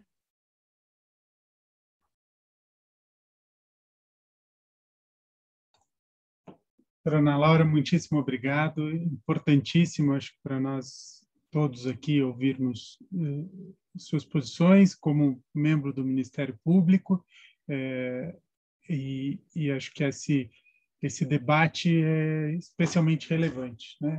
Como acho que o Fernando disse no começo, cada um tem a, a sua reforma eleitoral na cabeça, mas o importante é esse diálogo para que a gente possa chegar à melhor solução e ao consenso possível, né? Dentro dessa tensão aí de forças.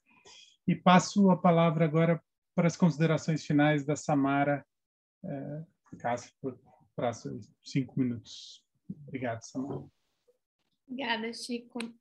Bom, primeiro agradecer novamente, porque nunca é demais, depois desse convite maravilhoso e essa quantidade de informação incrível, porque mesmo quando a gente não concorda, a gente tem mais argumentos para poder discordar ou para poder concordar com, com mais veemência. Então, é muito bom poder ouvir todo mundo aqui, ainda mais que foi um time montado com muitas cabeças olhando para assuntos diferentes, e isso é muito interessante, ainda mais quando a gente tem uma, um arcabouço tão grande de, de temas para poder tratar.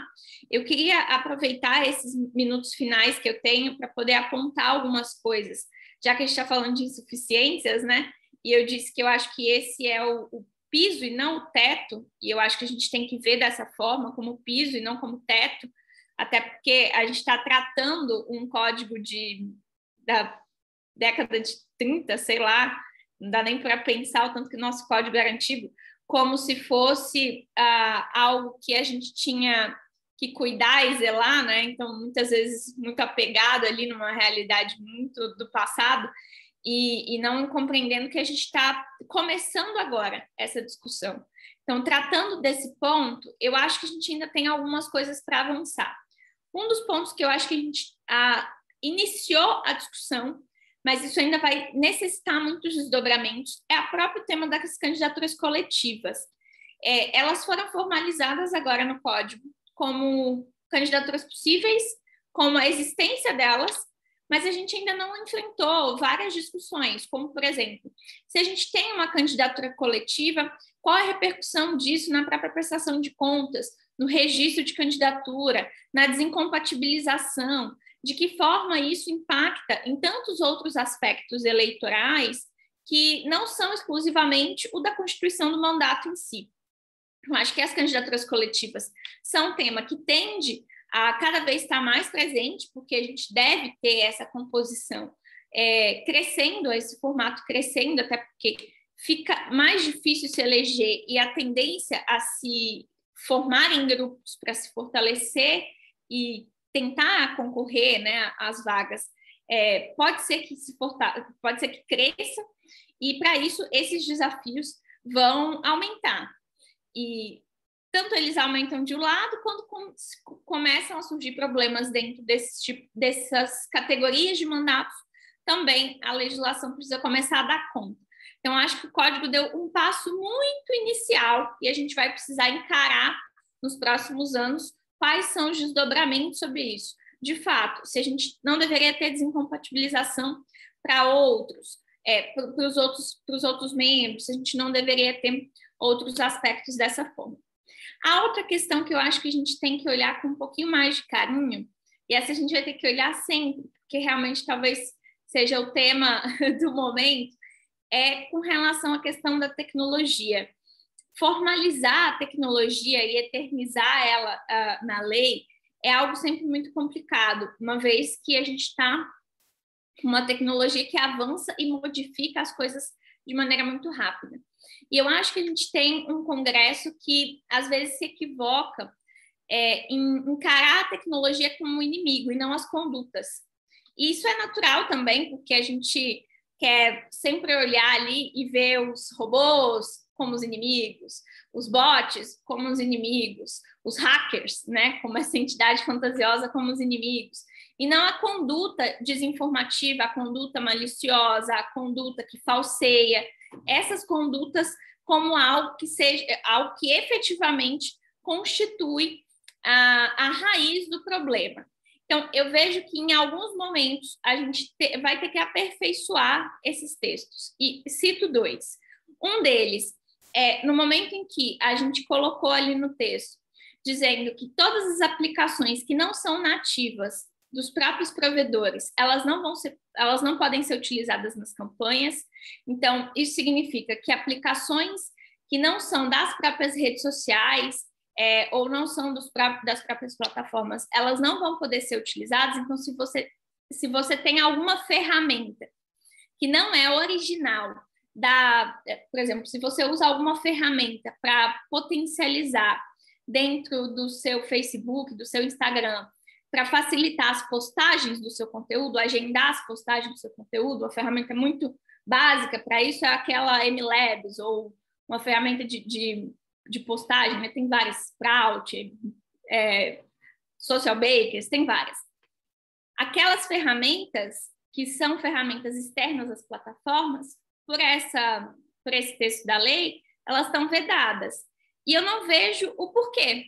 Eu acho que são ferramentas que não têm nenhum tipo de problema, que elas só organizam e facilitam a gestão da, das redes sociais, a gestão daquelas plataformas. Elas não potencializam, elas não artificializam, elas só facilitam a gestão. Então, não acho que ali tem um problema. E mesmo assim, está consignado no código. É, colocado um inimigo na tecnologia, quando na verdade o problema seria a conduta que falseia. Uma outra questão, e aí para finalizar, porque o que eu vou falar é polêmico, e eu sei que eu sou ultra minoritária nessa opinião, então vou finalizar com isso, é com relação ao disparo em massa. Eu entendo que a gente tem que encarar o debate de que os aplicativos de mensageria privada, eles não funcionam, ainda que tenham uma arquitetura de mensageria privada, eles não são exclusivamente uma comunicação privada. A gente tem hoje aplicativos de mensageria privada que funcionam como rede social.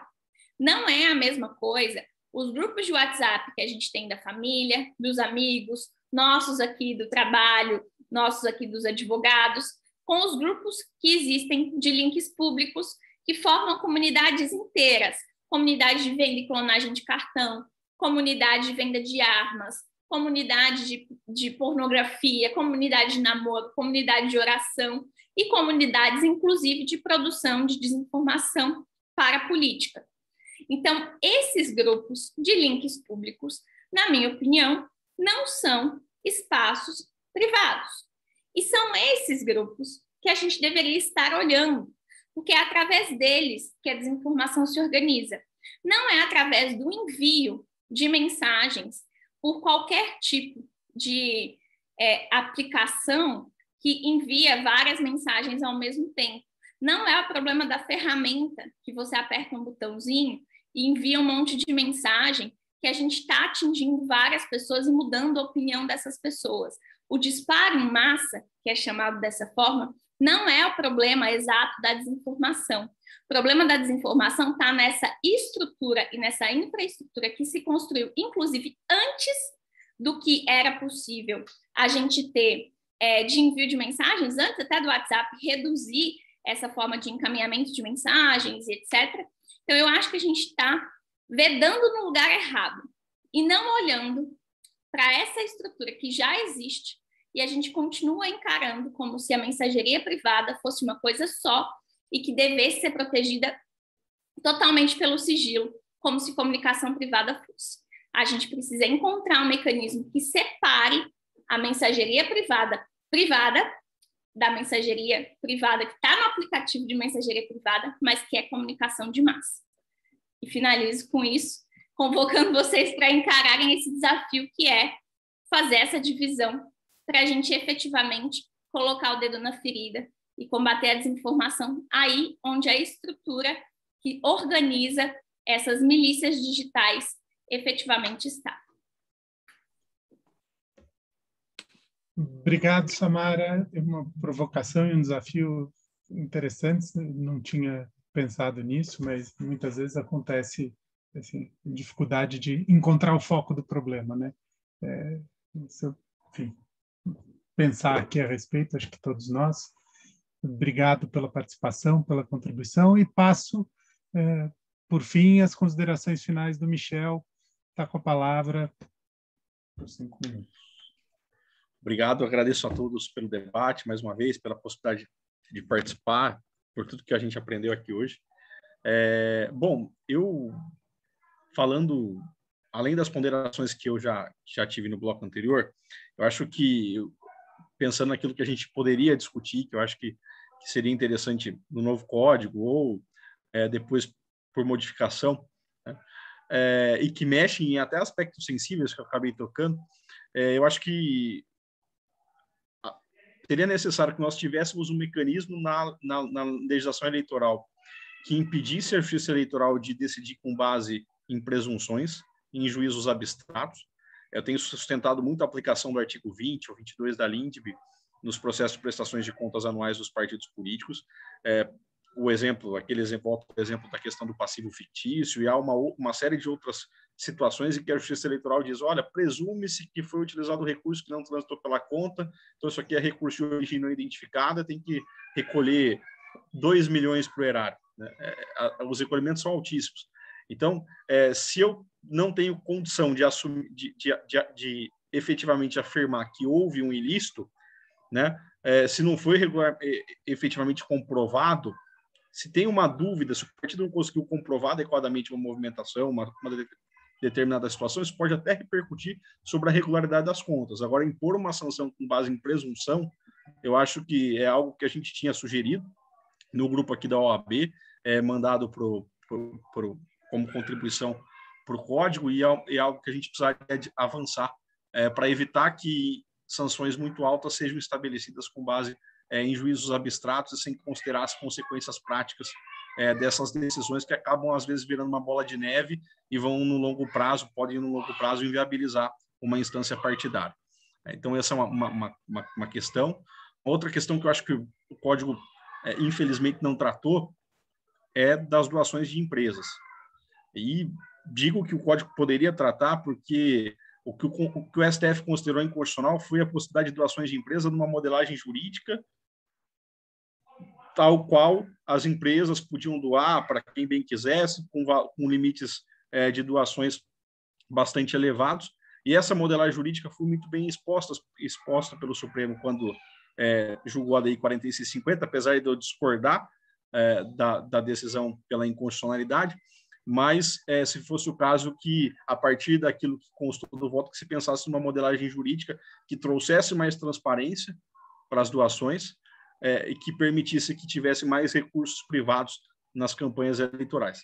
É, a gente até sugeriu aqui no, no, trabalho feito pelo grupo da OAB, da Comissão de Direito Eleitoral da OAB, que fossem estabelecidos limites nominais baixos e que isso poderia ser uma forma é, de trazer de volta as doações de empresas é, sem incidir no mesmo na mesma fundamentação, no mesmo risco de inconstitucionalidade que o Supremo viu lá atrás, é, e permitindo que a gente tivesse uma outra fonte de financiamento e mais transparência nas doações. E o último ponto que acho que a gente perdeu a, a oportunidade de debater, a gente propôs também, e perdeu a oportunidade de ver no código, é, e quem sabe para frente isso possa, possa ser incluído, é a questão da confirmação é, de que uma campanha ou candidato, um partido, contratou um material que constou de uma nota fiscal eletrônica, ou contratou um serviço que constou de uma nota. Por quê?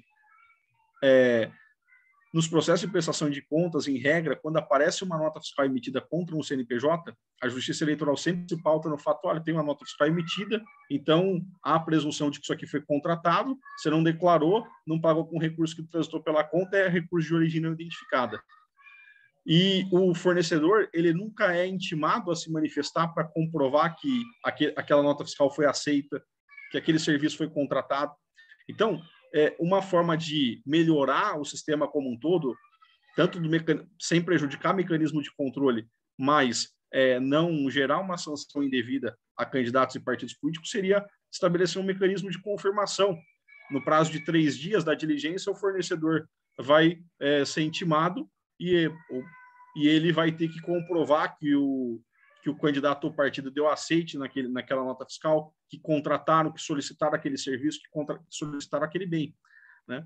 para evitar, novamente, que presunções gerem obrigações de recolher valores altíssimos ao Tesouro Nacional. Porque, infelizmente, o que a gente vê hoje em dia, na prática, é que é, muitas das condenações, seja aos partidos aos candidatos, são impostas com base em juízos abstratos e, e, e, meras presunções. Muitas condenações de recolhimento de valores altíssimos. E, por fim, aproveitando aquilo que foi falado, eu acho que a gente perde uma oportunidade nesse momento é, de ter uma propaganda eleitoral com mais espaço, com mais tempo, de ter uma propaganda eleitoral com mais meios de propaganda, que, afinal de contas, quanto mais propaganda eleitoral, quanto mais tempo, quanto mais meios, maior o, o debate democrático. E, infelizmente, desde 2002, a propaganda eleitoral ela tem sido asfixiada, os meios e o prazo da propaganda eleitoral têm sido reduzidos, a pretexto de se reduzir os custos das campanhas eleitorais. O grande problema não é reduzir os custos das campanhas, o grande problema é faltar debate democrático. Porque custos de campanha, que bom que as campanhas custam, eu só tenho custos de campanha no ambiente democrático, onde não há democracia e as eleições servem tão somente para homologar um eventual acordo ou de fachada para um regime ditatorial, não precisa de propaganda e nem de recurso para a campanha. São essas as considerações. Obrigado mais uma vez. Obrigado, Michel. Como sempre, ótimas colocações. Essa questão da, da, das presunções é mesmo é, preocupante. a questão da propaganda eleitoral poderia ter avançado mais, é, mas acho que de tudo que a gente discutiu aqui hoje, acho que é, fica aqui, primeiro, um debate de altíssimo nível, ótimas exposições, é, diferentes pontos de vista, divergências. Acho que deu para ver que, pelo menos em, vários temas específicos, houve um certo, um razoável aprofundamento do debate no Congresso. Em outros, parece que esse debate é, foi pequeno ou, ou, pelo menos mais superficial, é, mas ao fim e ao cabo é, a Câmara acabou aprovando um texto base. Confesso que não gostaria de estar na pele da relatora, se aqui nesse universo pequeno a gente já vê tantas posições contrapostas, eu fico imaginando a Margarete como relatora, recebendo pressão de tudo que é lado do Brasil inteiro, e acho que fez um trabalho que tem é, inegáveis méritos a despeito de inúmeras críticas procedentes, são inegáveis os méritos é, e com avanço em diversas áreas. É, declaro encerrados os trabalhos aqui hoje. Agradeço a participação é, de todas e todos, Ana Laura, Marcelo, Márcia, Samara, Michel, é, doutor Hélio, nosso presidente, mais uma vez cumprimento. E agora vamos, encerrados os trabalhos, fazer como Michel e tomar uma cervejinha. Abraços a todos. Boa noite.